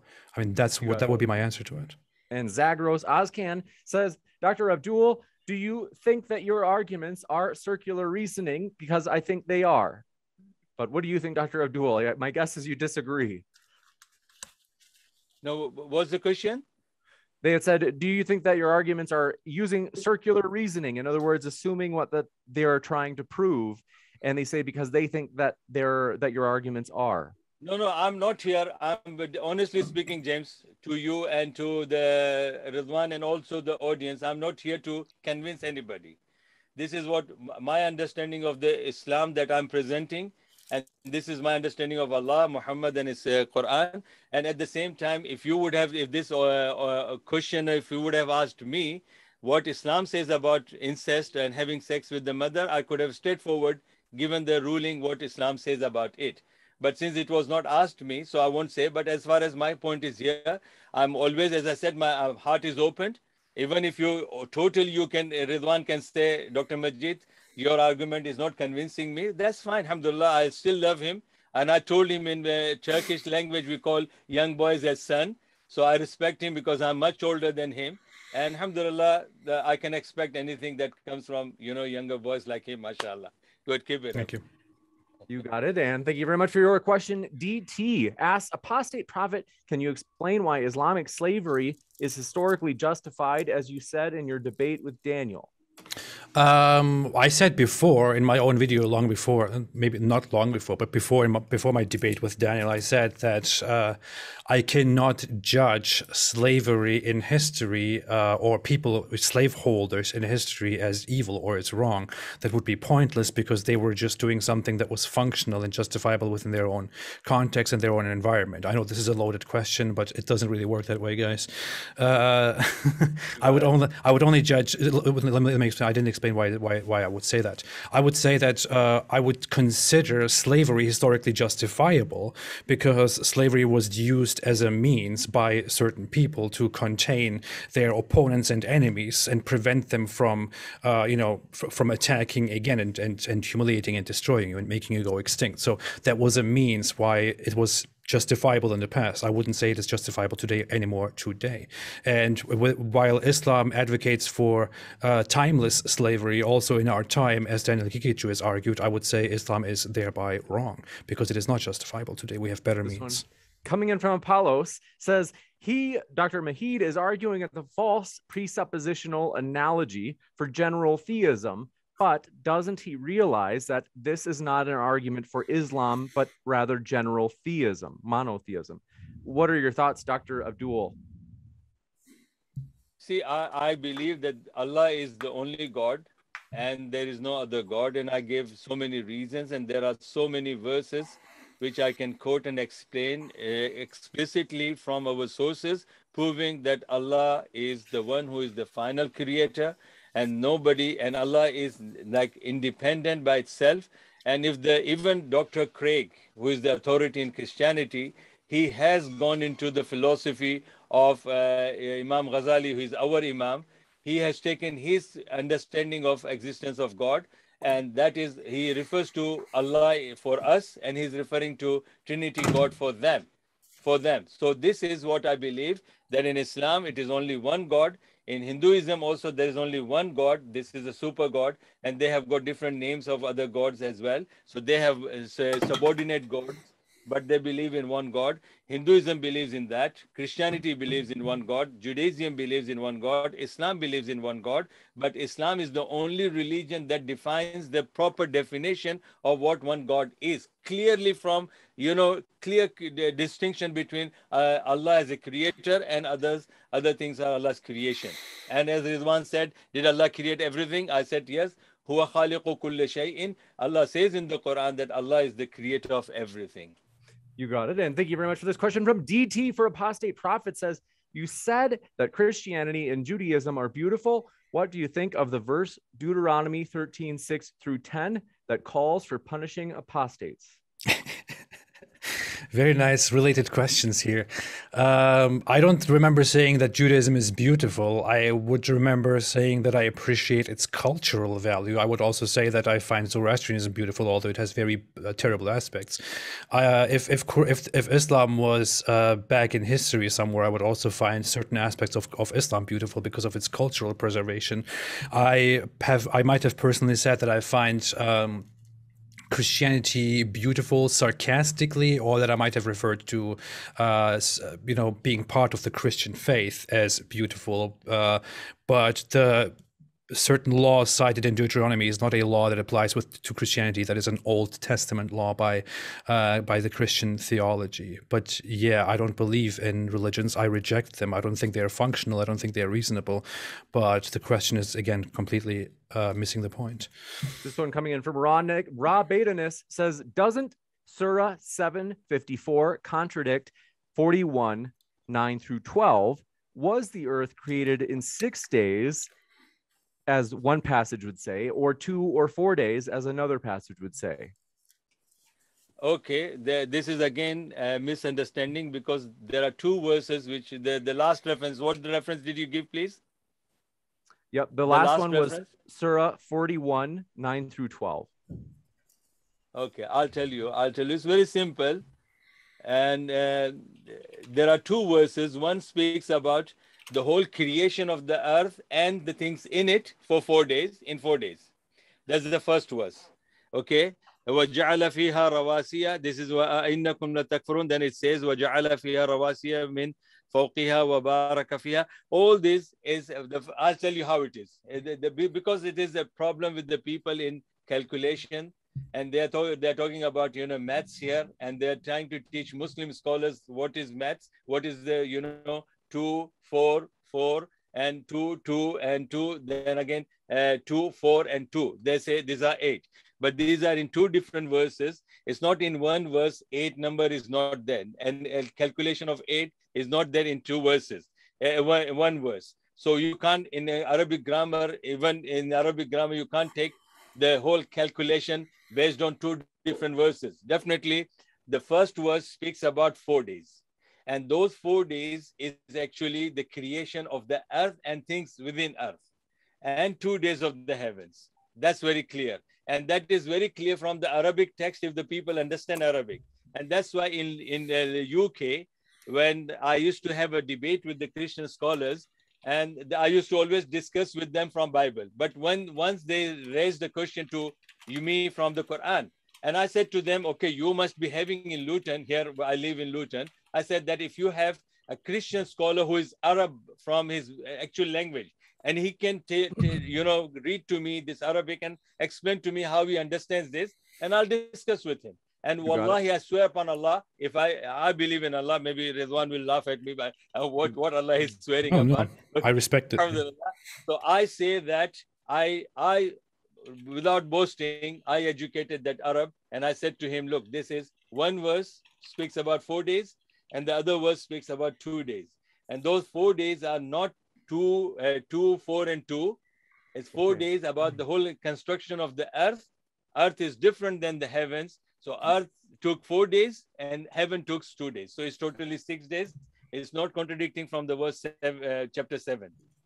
You got it. Thank you very much. And want to let you know, folks, we did a poll earlier, and I'm sharing this not just for trivial reasons, but we did a poll while there were a thousand live viewers, and we have 42% of the audience being atheist, 20% being Christian, other 19%, and surprisingly, Muslim is actually 17%, the smallest. And so it is by about two and a half times difference in terms of how many more atheists there are than Muslims. So we do have way more atheist questions, namely for Dr. Abdul. And so just want to let you know we're trying to have them be balanced, but as far as I can see, we've run out of questions for apostate prophet. We have lots more for Dr. Abdul. So I want to let you know about that. We're going to try to move through these as fast as possible because we also have limited time and a lot of questions. But this one coming in, I'll just stop. leave then, or this one just... from goodbye from Stop Scamming Man says. Hello, Dr. Mahid. In your estimation, if an ideal caliphate forms in the future, What should happen if an adult openly comes out as an apostate but claims to have secretly left when they were a child? I will just say to them, good luck and go to a place where your life is saved. Don't stay in the place where the, you will be ex- executed. I You even told in And- one of my one of my videos to Ridwan, and I even said to uh, Dr. David that if you think that apostasy will, you know, result to your death, come to my house. I will, you know, give you protection, and if if, you, if somebody wants your life, I'll give my life to protect them. And that's I said in my video, it's there. So it's a wrong co- concept that you know apostate should be killed. No, there's no no authentic narration. I have a speech on that. I've given the evidence to that, and there are so many research articles from the Muslim scholars, authorities who have proven that the apostate can only be executed by Muslim authority, which is no, nowhere ex- existing.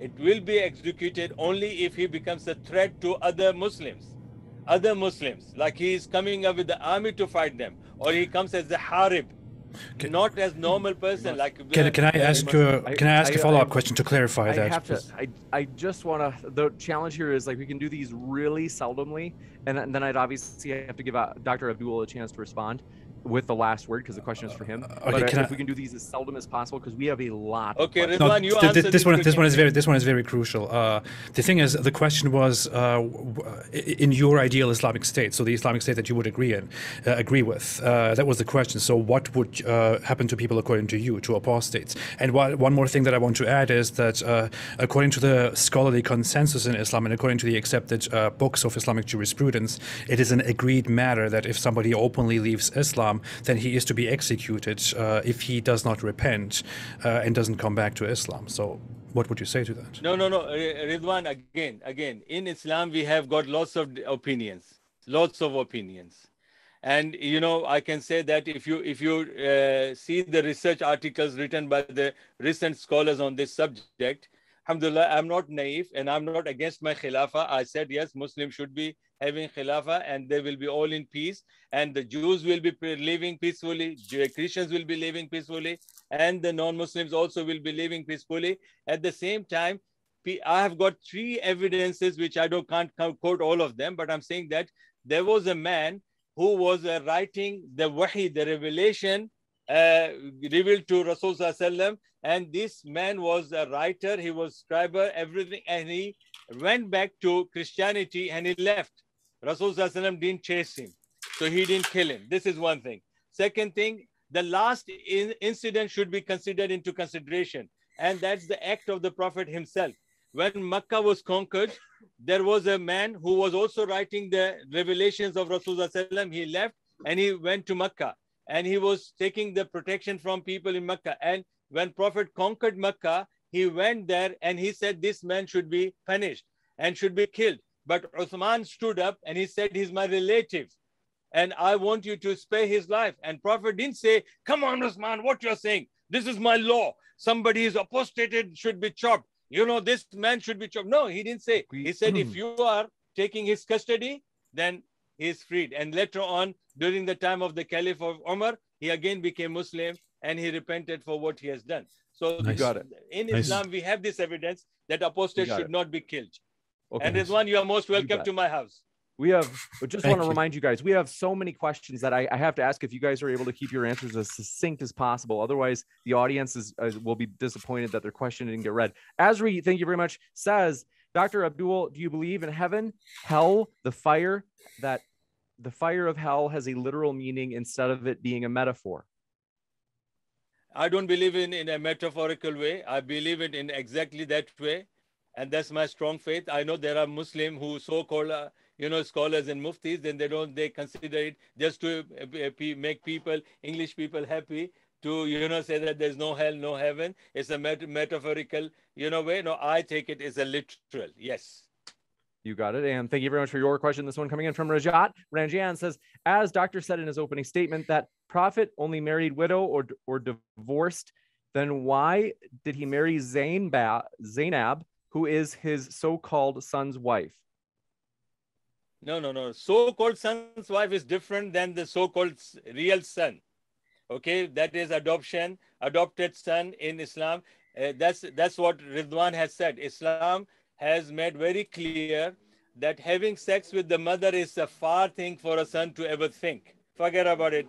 Islam even teaches in chapter 4, verse 22, Islam teaches that even the mother-in-law, even the mother-in-law should be respected as mother, and even the wife has been divorced, this man has no right to have sex with that mother-in-law, even if he has divorced his wife. This is it. very And- clear in Islam.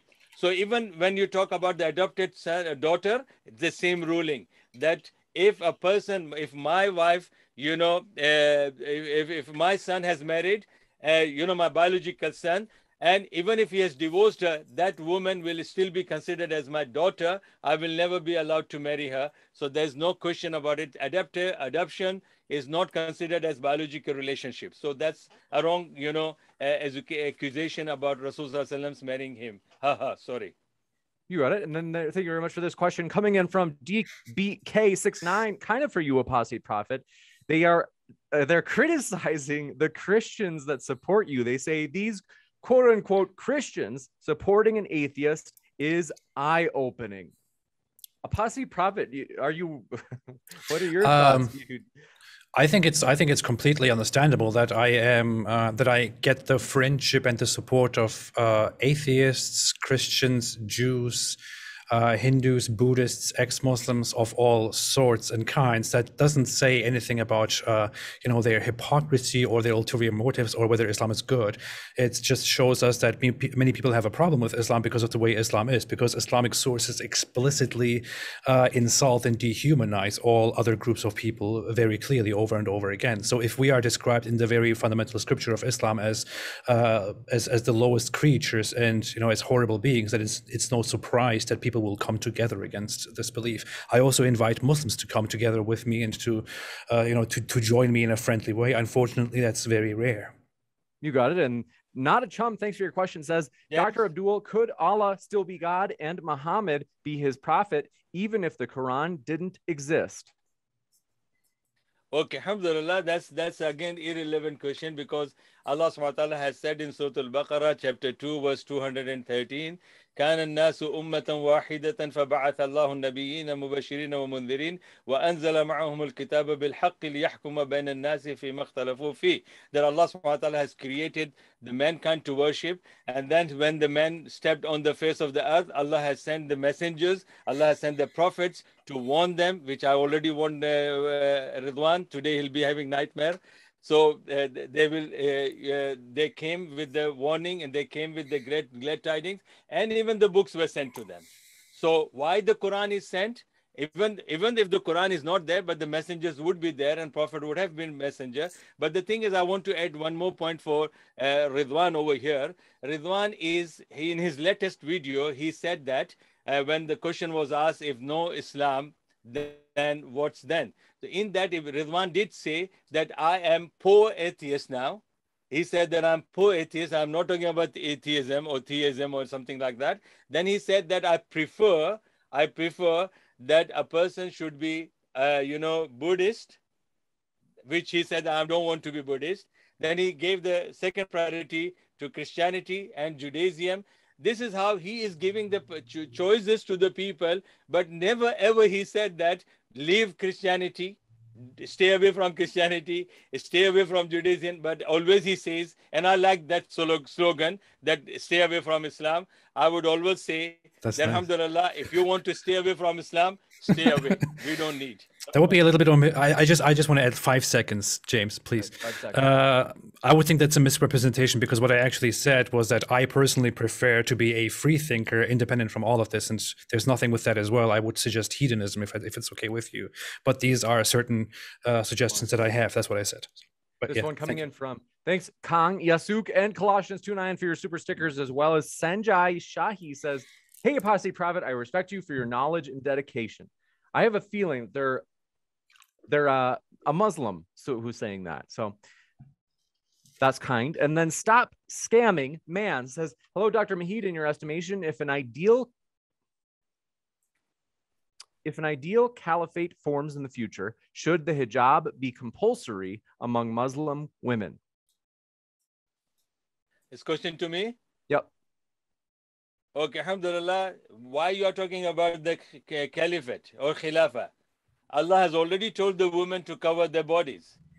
Yes, it's not like, you know, uh, the people are showing the advertisement of the beach and they are giving, you know, a suit for the men and nothing to the women. So this is how they are treating their women, which our Islam does not. Our Islam gives the, Allah has given them the command. So if a person is a true believer, and it's not the matter of the man, it's not the matter of the Khalifa, it's the matter of a Muslim woman. If she is a believer and she believes in the Quran and she believes that this command is from Allah, then she should cover herself the way Allah has told. told. It's not, I'm not talking about niqab, I'm talking about hijab. Yes, Quran did say that, and this is Allah's command.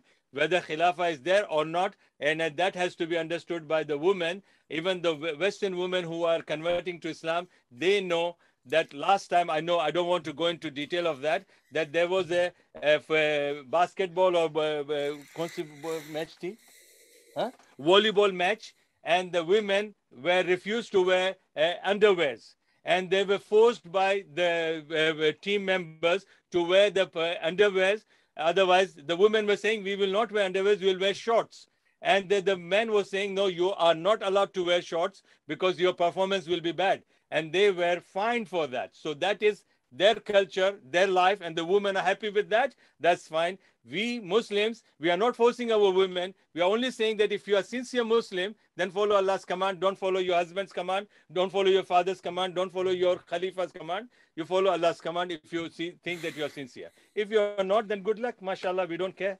You got it. And thank you very much, Hogtown Biker, for your super sticker, as well as M. Warren says apostate prophet, or they said from apostate prophet's 12 minute opening statement. Dr. Abdul, did you address his points?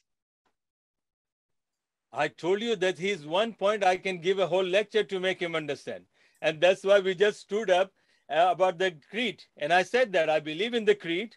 I believe everything is destined. And I know Allah knows who will go where but we don't know. But Allah did tell us that, okay, He sent the books. I read the verse from Surah Al Baqarah just now that Allah sent us to live in this world and He told us to worship. He sent the prophets, He sent the messengers, and He also told us that follow the book. So if we don't, then we will be crying in the hell, as I quoted from verse uh, chapter 67 and verses 6 and 7 and 8. And I gave the answer to Ridwan, and that's what I'm saying. If he reads the, those verses again, he'll definitely won't sleep today. He will take sleeping pills.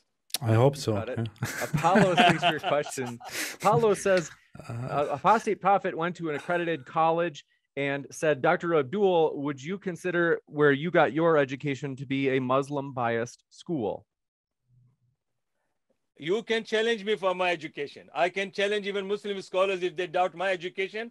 I'm here to defend my education. I believe in Quran. I know Quran in and out. I have learned the Quran page to page, cover to cover in Arabic, in tafsir, and I know usul al-hadith, usul al-tafsir, usul al-fiqh. Alhamdulillah, anybody wants to challenge me of my credibility, I'll take it. But if somebody wants to correct me my mistake, I will kiss his forehead. No problem. If Ridwan says, Dr. Majid, you made this mistake. And if I know it is my mistake, I will kiss his forehead and I will not show that, no, I'm right, though I'm wrong. So I am ready, but somebody has to be of my caliber too. I will come to the UK so you can kiss my forehead. Yeah. Next up, yeah, but you, you have not corrected me yet. this one coming in from MB Khan says, What's the point of reading a Chinese book if you don't understand Chinese? And they're saying that Dr. Abdul used an argument analogous to this. Don't, I'm saying if you want to be a Muslim, you should know Quran. And you should know the Quran how you read. Quran is not just a book of translation. Anybody can just read like that. Quran was revealed 1400 years ago to the uncivilized Arab of that time. And Prophet was changing their civilization. 23 years. Now, Brother Ridwan, he wants to be an atheist. He wants to uh, throw away the law of Allah, throw away the law of Quran and Sharia, and he can compare uh, only one example. He can compare the uh, crimes which are happening in the families who are non-Muslim families, compare that number of crimes that is happening in these Muslim non-Muslim families, and compare the 23 years of Prophet's life, the how many crimes took place there within the society, not even the relatives. So then that shows which which law is And that law, to understand that, you should know language. You should know the original sources. If he's talking about Prophet's life, he brings only one issue that Prophet couldn't say about the uh, when is the hour coming. He doesn't know the meaning of the word as-sa'a. As-sa'a means the second, the, the minutes. We have seconds, 60 seconds. That is called sa'a. Period is called sa'a. Time is called Sa'a, and the Qiyamah is called Sa'a. The death is also called Sa'a. In Quran, there are six different meanings of the word Sa'a used in the Quran. And my brother Ridwan, he doesn't know that. So he picks up one ayah or one hadith, and then he'll, in, uh, you know, put his argument on one word, and then he says that this is a false prophecy. I can expect from him because he, he says that it is not important for a person to know Arabic to know the deen. Or Unfortunately, it, it says Takum Sa'a, which is uh, mentioned in uh, numerous hadith the same way, in the same context, again and again for the last hour, referring to the Day of Judgment. Unfortunately, that's that's. I'm, I'm, not taking anything me, out of context. No, no, no. Ridwan, me, Ridwan, you invite me on your stage, and we'll just talk about this hadith and then maybe, I'll take maybe. you to all these hadiths which are related, and I'm I'm telling you on air. You invite me, I'll take you the full uh, classical understanding of that particular narration, where it is found and what is the complete narration and how it is understood by the one who narrates it. I'm not even. I, I wish we could have. I wish we could have discussed it. I, I, want to. I want to give Abdul the last word, or Dr. Abdul the last word, because I. I. Uh, okay. Okay. Sure. Yeah. We do have so many more questions. Okay. This one coming in from Ali Nassar Ahmad says, if Muhammad was sent four all times, why did he marry six-year-old Aisha if it's usual Arab tradition back then. But then why marry his daughter in law to break the same traditions? Uh, he has to be educated properly. If he has to understand, then he has to go back to uh, listen. I can justify that, but because the people at that time they had no problem, the father of Aisha had no problem.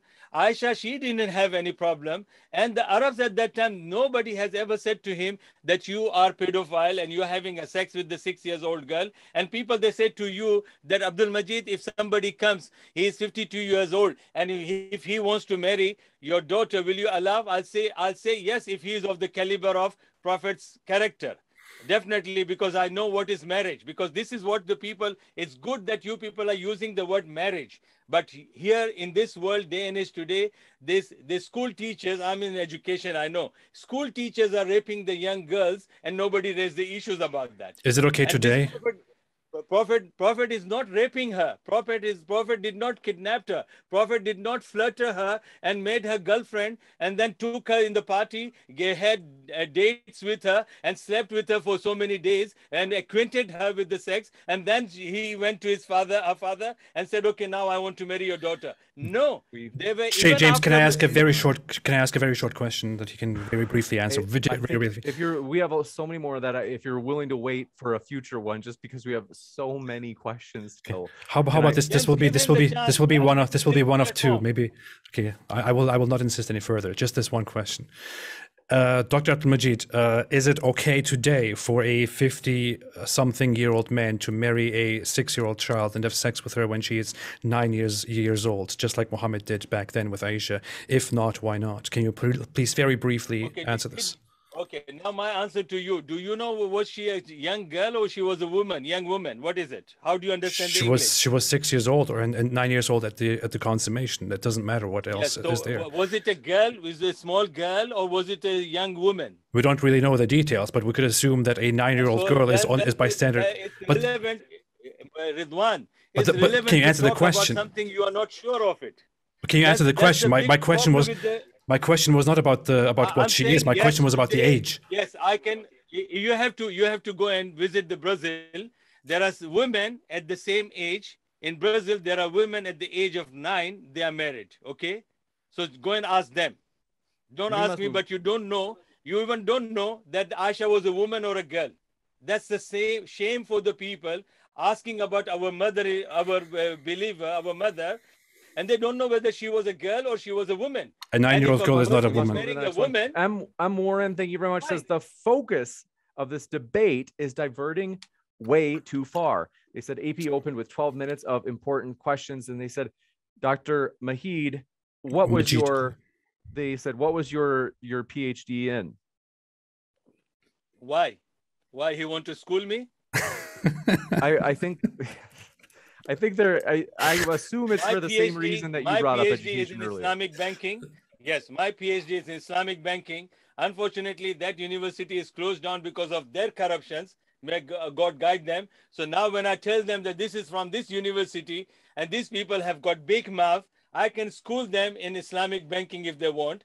The- here in UK also, I told them that if you want, if you doubt my qualification, I can school them. Alhamdulillah but it should be in a proper way. If they have got any questions on Islamic finance, they can tell me. I have done my PhD. My thesis was on Islamic banking, and my uh, area of research was uh, Islamic bonds, which is sukuk.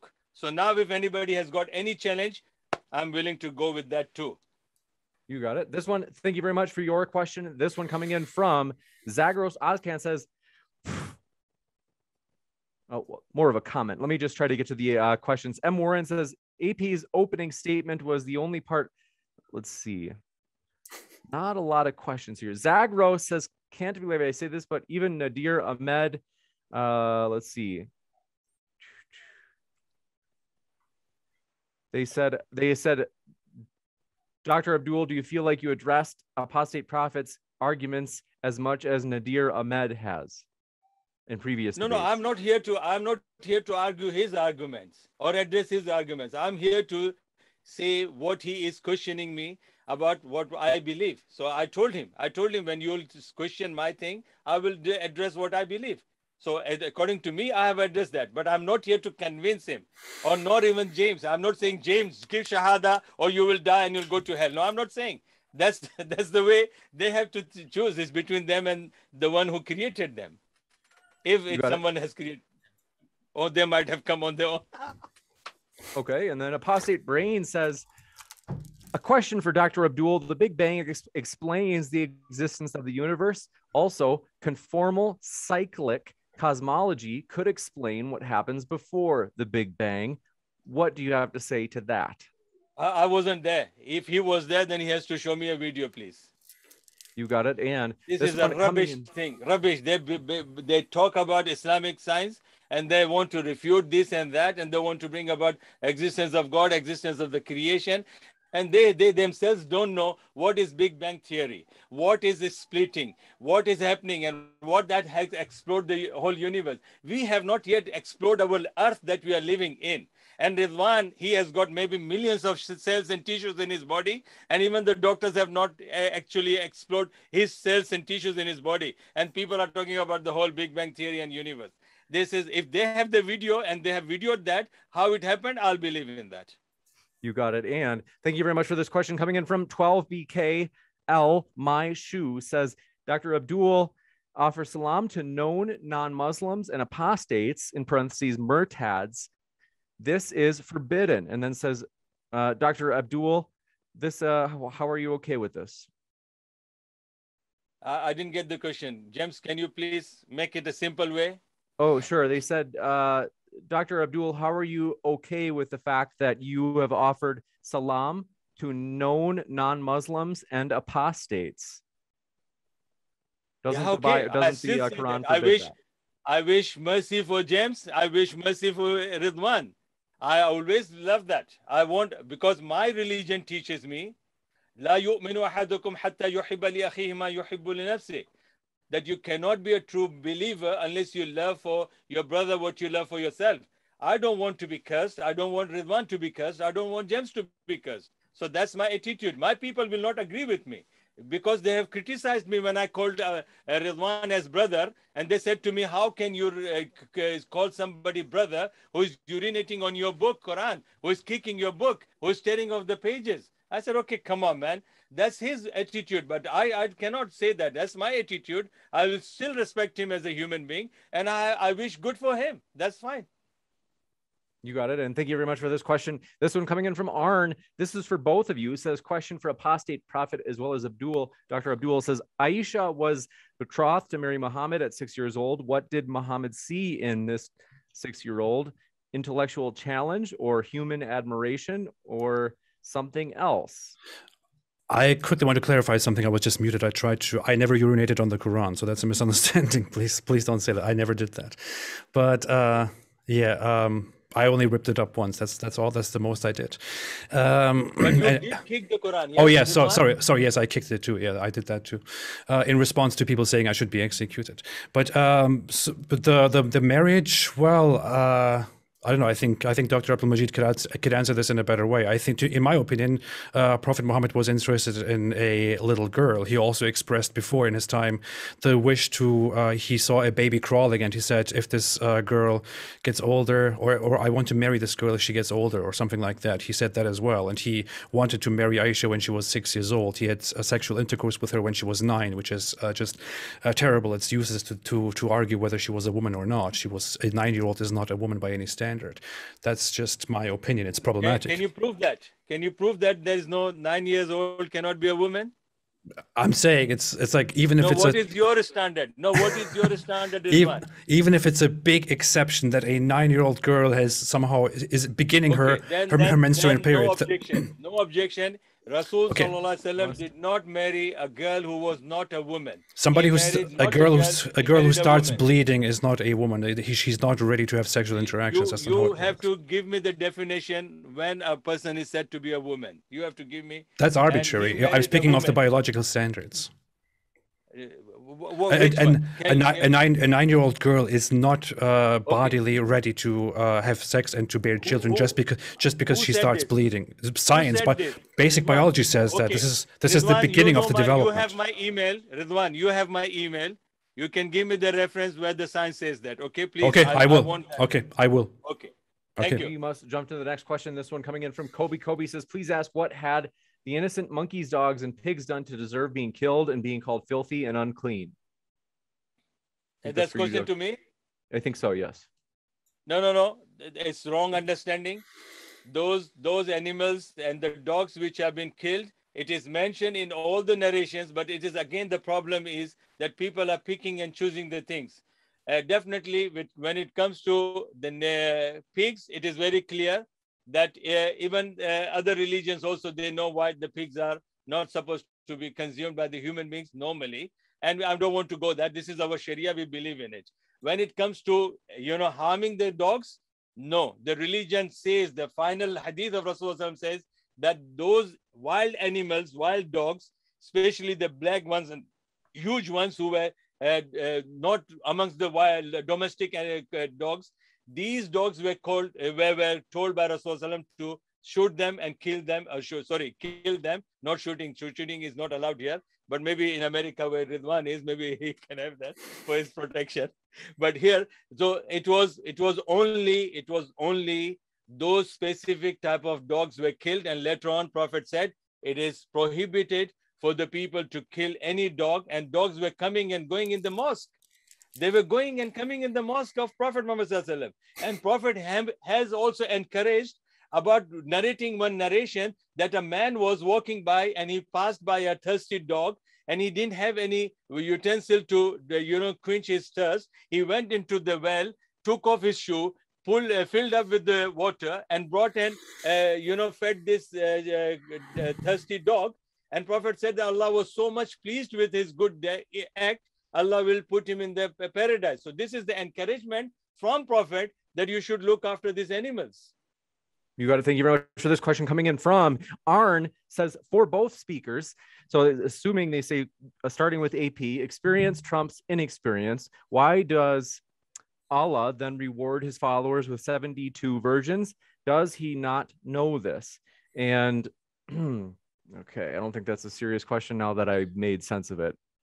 But if you would like to respond, uh, Dr. Uh, Abdul or Apostate Prophet, you may, in terms of whether or not God No, thi- or this Allah again- rewards yes james 70 this is again a wrong understanding nowhere in the quran it says about 70 uh, virgins and the hadith when it speaks about it speaks about the time where the war was taking place and the non-muslims were trying to you know stop muslims from practicing their religion and they were being put down by their own own relatives then prophet ﷺ has said anybody who gives their life don't feel bad about it and quran says الذين ولا تقولوا لمن يقتل في سبيل الله اموات بل احياء عند ربهم And in another verse, it says, يُرْزَقُونَ وَلَكِنْ لَا تَشْعُرُونَ But you don't know. So those people among your family who are d- dead, don't uh, k- killed in the war, do not despair from Allah's mercy. They are alive and Allah subhanahu wa ta'ala is feeding them. So Yeah, this is can I- very clear that was that came into that context. Not generally move. everybody Okay, will get okay. the 70 verses. So according to the Islamic Islamic belief, the whole 72 virgins thing is a little bit controversial. It bases uh, itself on a Yes. certain hadith, but um, according to the Islamic belief, every Muslims will receive uh, virgins in heaven that are more beautiful than anything else they have seen before, and martyrs will get more rewards. But it is part of heaven that Allah creates these sexual beings for men to have and to enjoy, which is problematic. no problem, no problem.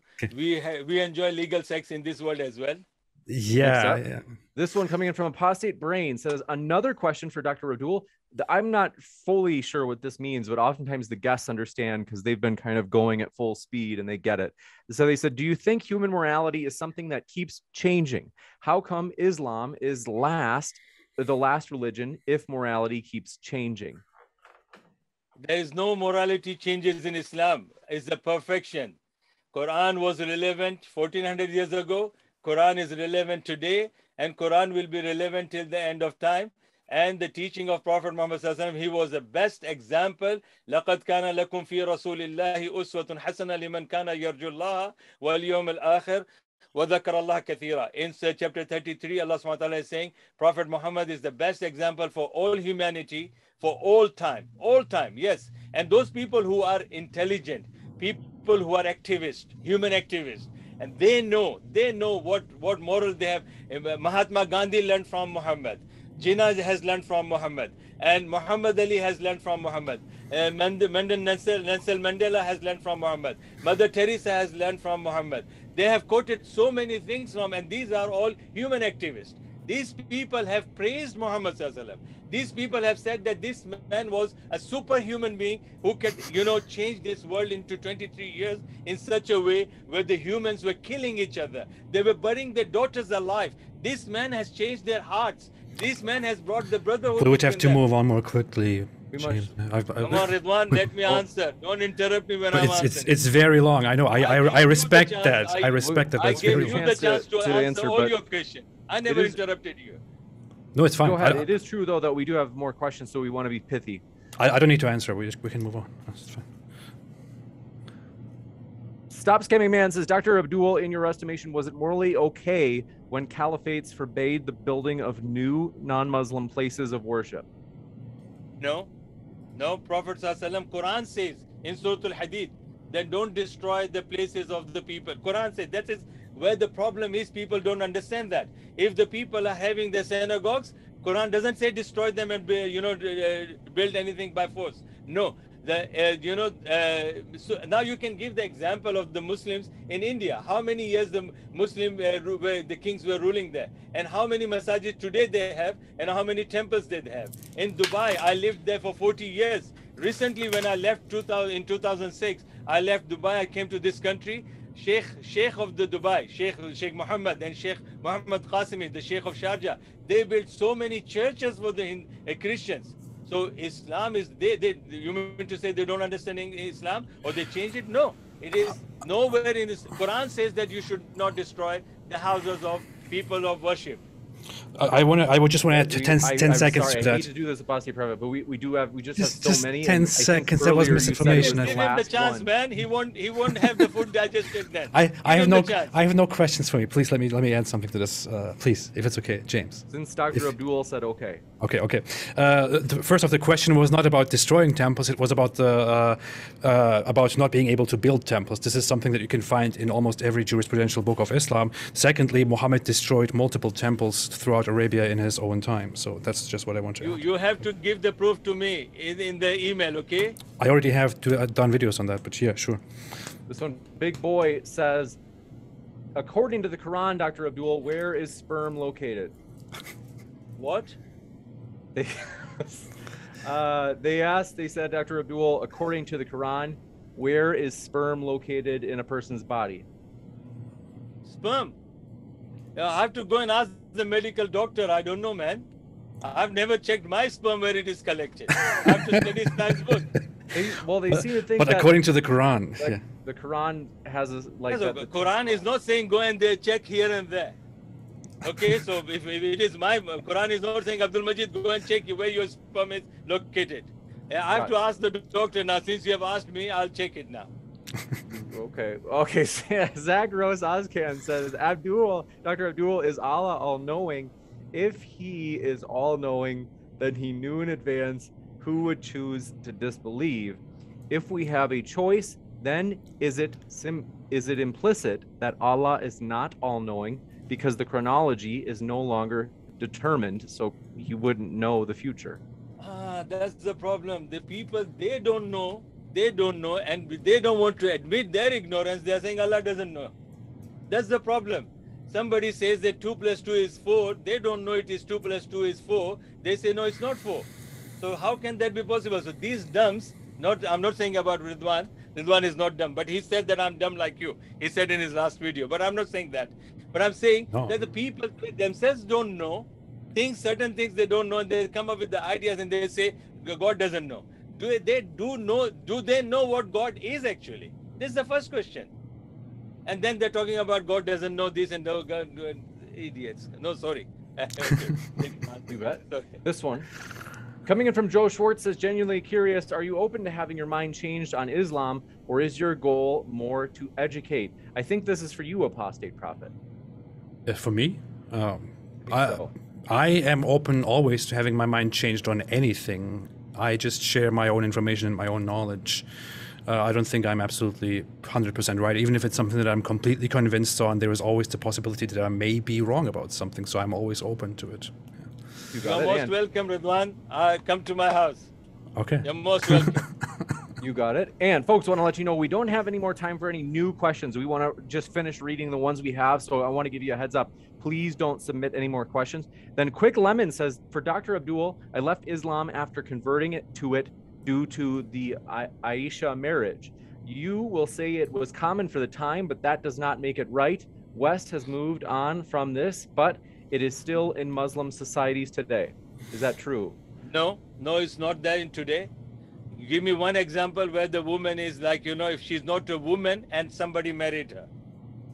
You That's not permissible. Our our books of juris, uh, jurisprudence they speak about it and they say that once a woman has reached the age of puberty and rushd, Quran says rushd, which is that means she is mentally and physically prepared for the marriage, and which we believe, which uh, Ridwan couldn't say anything about Aisha, which we know about her because we have studied. She is the most knowledgeable person at the age of 18. She was one of the well-known scholars of her time.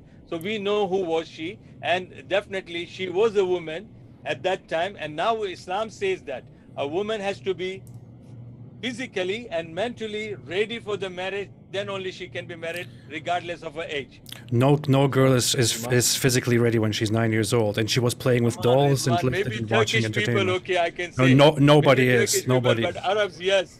Arabs, No. uh, come on, man. You No. stay with the Arabs. I No. lived with them for 40 years, man. I know how Arab girls are, man. Next up, Happy Camper says, Abdul, will you explain on Nisa 434 to us? Are women allowed to strike their husbands if they fear rebellion? Women are allowed to strike their husbands. That's what it asks. Come on, man. How how can a woman strike the husband?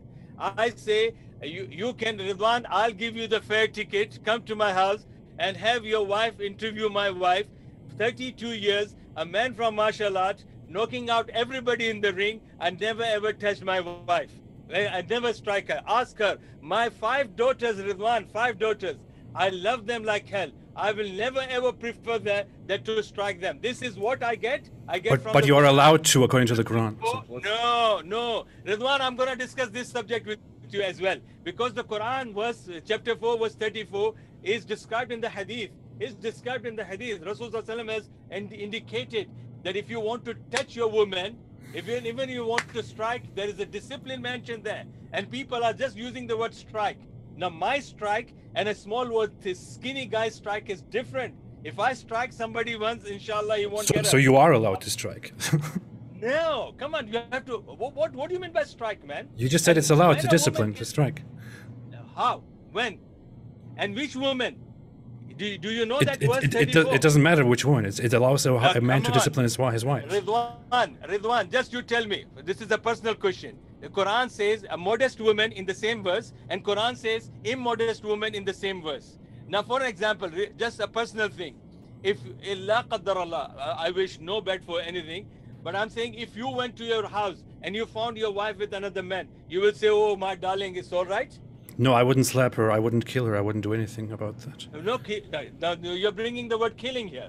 Not And okay. Okay. Okay. slap. Okay. I would. I wouldn't. I wouldn't physically discipline her. No, no, no. How- You you use the word slap. Is the slap means a strike?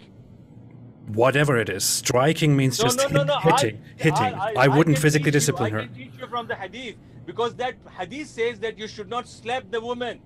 You should not slap the woman. It, it doesn't. It doesn't say that anywhere uh, to me, or to my own knowledge. But And if I'll tell you, what will you be? What are you going to admit in the public? yes, I I'll I will. I will say I was wrong and he proved me wrong. But I don't. I don't think that's. No, no. If if I okay, if I'll give you the hadith, you will accept it. If you give me a hadith, hadith, which says which says do not slap or do not hit your women, then I will say okay, he proved me wrong. Yeah, okay. No, you use the word slap. Okay, you said you will. Okay, you won't harm your wife, and you will say, okay, no problem, my darling, it's your choice. It's all right. This is how uh, this dirty God has decreed for you. That, that- so that's I not what that's not what I said. I would ju- I just said I would not hit or discipline her. That's not what I would do. No, you said you won't slap her. I'm talking about the word slap. okay, maybe, maybe I maybe I misspoke. I will not hit her. I will not physically discipline her. That's what I mean. So no, no words of slap. Uh, do you don't want me to give you the evidence for not I'm, slapping? I'm not. I'm not specifying slapping. I'm saying striking or hitting. I would not but do I that, and the, the Quran. The Quran allows that. Don't slap your woman. If I bring that narration, will you accept it? I'm not insisting on slapping. I'm insisting on striking or hitting. But yeah, I, I, will, I will accept. I will say, okay, well, I guess it doesn't say slapping, but it doesn't really matter. I'm insisting on that the Quran says hitting or striking. That- That's that's the problem with people. It doesn't matter this, doesn't matter that. Why so nobody is it the can problem? convince. Rizwan, nobody can convince. You have to stick to one thing. When you're bringing a word, because I'm a very specific person. But the When topic I- is I- hitting your wife. Yeah. So in what sense? That's what I'm saying. We have to school ourselves first. Then when we talk about this man, Must move to the next yourself, one. Myself, yes. This one coming in from, do appreciate your question. Happy Camper says, following Sunnah, in parentheses, Sahih al Bukhari 5134, is it appropriate for adult Muslim men to marry nine year olds at this point in time? Of course, yes, I'm telling you, you can marry a woman. I told you, our it is the consensus of Islamic jurisprudence that if a woman is mentally sound and physically ready for marriage, she can be married regardless of her age. You got it, and thank you very much for this question. Coming in from, do appreciate it, Azri Schizophrenia says, Dr. Abdul, based on my question earlier, you said that the fire is a literal meaning in hell. Then, if jinns are made up of fire, how come we can't detect them with thermal detector technology? If you will come to me, I'll show you. You are made of clay and I'll punch you. I'm made of a clay, and then we'll see how you feel the pain. If a clay can hit the another clay and you can feel the pain, the fire can can be uh, you know harm the other fire. Yes, simple. You got it. And Salma Kazmi says, children marriage is RAPE, disregarding circumstances. Do you agree, Dr. Abdul? I will agree by the law and I have the conditions that if a woman is in the country where the law says this, that if a woman is mentally sound, which she can say yes or no for her marriage, because there's no forced marriage in Islam. Woman's permission has must be taken. So that means she is sound and she is agreeing to marry and she is physically ready for it. I say yes. But if she doesn't If respond, the that means she has no, agreed. If, if the law says no, I go by the law. But if she doesn't say Because anything, law then says her silence is her consent, right? Yeah, of course, yes. But why would she remain silent, Ridwan? Why would she remain silent? Why would she remain silent? For Ridwan, many, for many different reasons, for for fear, for being forced you- into it, for so many reasons. Ridwan, you grew up in a different world. Your family life is a different thing. Ask my five daughters. Two of them are married, and I never ever told them that this is this and this is that, and it goes against your will. No. Okay, but you, are- you, your personal experience doesn't matter. We're talking about what is personal what is. experience is Islam. Ridwan, my personal experience, I am not the one who makes the law. I follow Islam. And this is what Islam teaches Okay. me. So I'm responsible for that. Okay, so you Yes, are this Islam. Okay. Coming in from Yes, I'm Zagros. Islam, Yes. Zagros Ozcan says, James, you shouldn't misinterpret my words. It's true. Once in a while, I do tweak the super chat questions so that we don't turn into internet blood sports. And Muslim, thanks for your question, says, Apostate prophet, how do you explain the miracles of Prophet Muhammad and his true prophecies? Wrong questions to wrong person. what miracles? What true prophecies? Excuse me. Uh, I mean, if you want to believe that Islam is true, and if you want to believe that Muhammad was a true prophet, I'm sorry for being so disrespectful about this. I, I thank you for your question, but uh, I don't believe that Muhammad has any true prophecies. I mean, anyone can have true prophecies if you want to twist, twist them and make them true. I don't believe there are any miracles.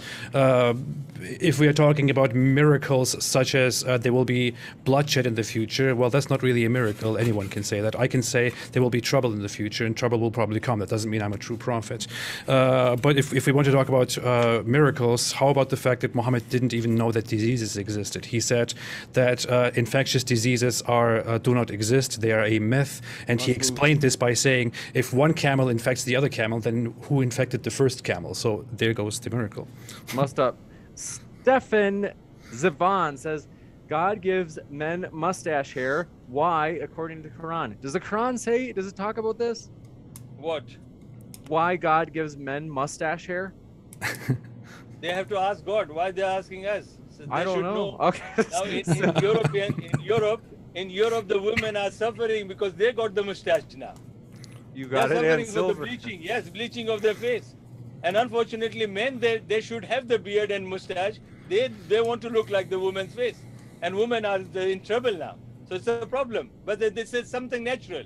I cannot say that you have to ask. Now somebody will say, why that guy has got eyes here? Why not on the head, top of the head? Why God created like that? Or why the man is, you know, he's having mouth here and nose next to the mouth? Why not the mouth behind the head?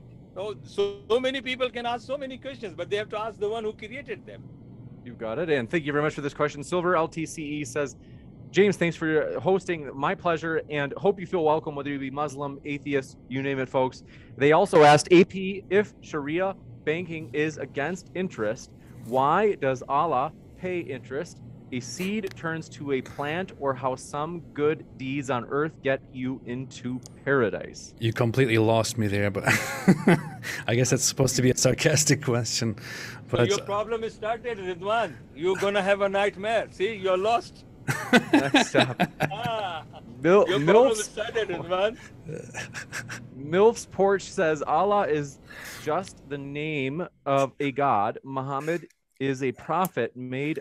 Uh, let's see.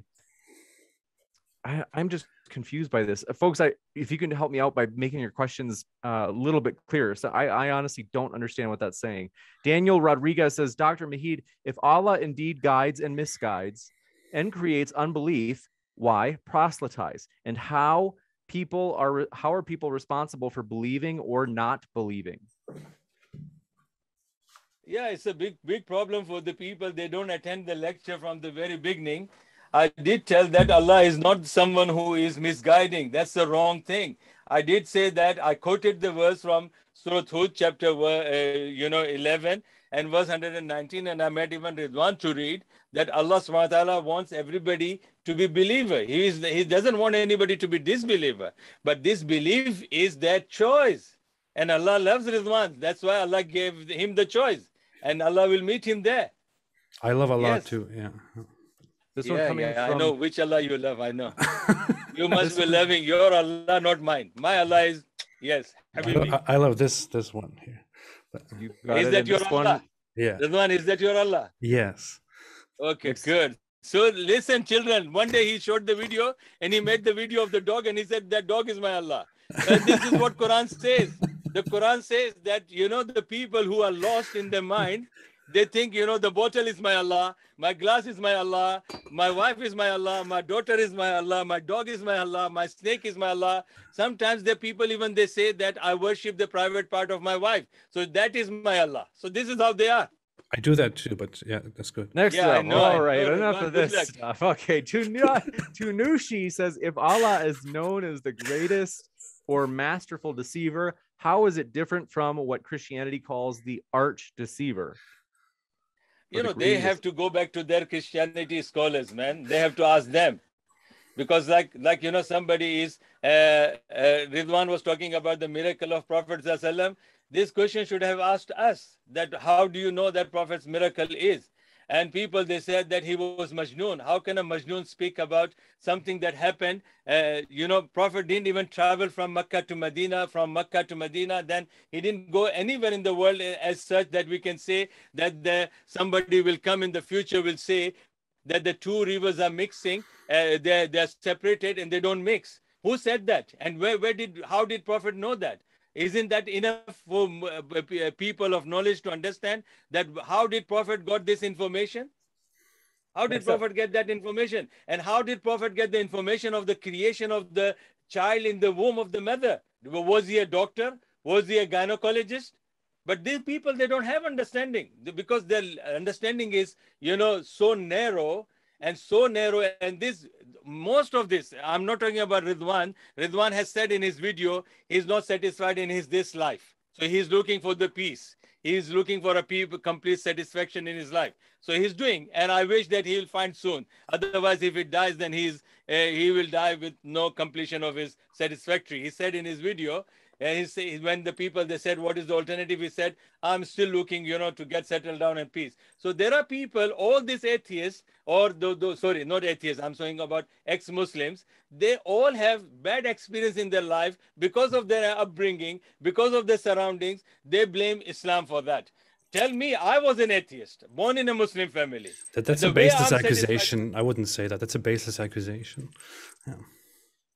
Of course, you, you, you have the stories. You brought so many videos. They all are crying. They all are crying. This lady, mashallah, beautiful lady, nice lady, maybe. Because of, she because of Islam, they're crying. She will be your second wife. I don't know. But she is crying. She's crying about she was, she was raped. She was done like this. She was abused like that. And then you are entertaining that. So this, what is the proof about Islam being wrong for that? If somebody is doing, doing wrong to her if somebody like in the recently in the BBC they were showing that the uh, the children have been you know uh, raped in the uh, Christian church and all that. Should I blame the Bible for that? Should I blame the teaching of Jesus for that? Should I blame the blame the Christian scholars for that? No, it's the people, human beings. They are doing that, so that cannot be you know uh, addressed to the religion of someone. This one coming in from Happy Camper says, Dr. Abdul, why did the, the prophet put his mouth in the mouth of a child, in parentheses, Hassan, and then says, Al Dab Adab Al Mufrad 1183. This is considered as pedo stuff today, not a kiss. These people, they I don't know why they're going to that book. That is called Adabul Mufrad. That book is to teach them the manners. And these people, they don't have even the manners to read the book properly. And they're talking about my prophet my prophet is kissing his grandson and making him to, you know, this is normal. I have seen here in this Western world, everybody is kissing the dogs and this and that, and they are just licking every part of that. And they, they have, look, look, this gentleman, just now he did something, maybe he'll do something more. So why people have problem with my prophet doing that to his grandson? Oh. Thank you for that. And then this one coming in from Arn Rurvik says the Quran says, lie to them it's okay. I don't know who them is. Is it does Ridwan, by say... the way, I've got six cats. Oh, that's nice. I like I like cats. I have a dog and a cat. Uh-huh. you got it. The last question they said they asked Arn said, Dr. Abdul, does the Quran say to lie to anybody and that it's okay? Where does it say? They're asking if it does. There is no verse in the Quran where Quran says the lies uh, Quran says the lie, the curse will be upon the liars. You got it. And with that, want to say any verse? Ridwan, do you remember any verse? I don't remember verse. I don't remember any verse in the Quran that says you are allowed to lie. I just remember certain concepts within Islam that uh, permit uh, speaking ambiguously or conce- concealing the truth or lying for out of necessity. But yeah, that would be different. You got it. And thank you. So Want to say what necessity is there? Huh? Oh, good. you got it. And then want to say, folks, thank you so much for hanging out with us. Thank you to our guests. We want to encourage you folks in the comments afterward, attack the argument instead of the person, as we really do appreciate our guests. They've been very cordial. We really do appreciate them. And they are also linked in the description, and that includes at the podcast. So thank you, Apostate Prophet and Dr. Abdul. It's been a true pleasure to have you. Thank you very much. Thank, thank, you so much. Thanks, everybody. I Ridwan, appreciate you're it very most much. welcome to UK. Ridwan, you're most Okay. welcome to UK. I, I will come in, and you will and you will kiss you my come to my forehead. house, we will, we will, if you correct me, otherwise I'll hit on your head, forehead. Remember that. ah, Th- Thanks so much. Okay, Thank you so much. okay then. Bye-bye. Thank you both. and I will be back in a moment, folks, with a post credit scene to let you know about upcoming debates, including the one at the bottom right of your screen. So stick around for that in just a moment. And thanks one last time to our guests. Be right back in a moment. And stay away from Islam.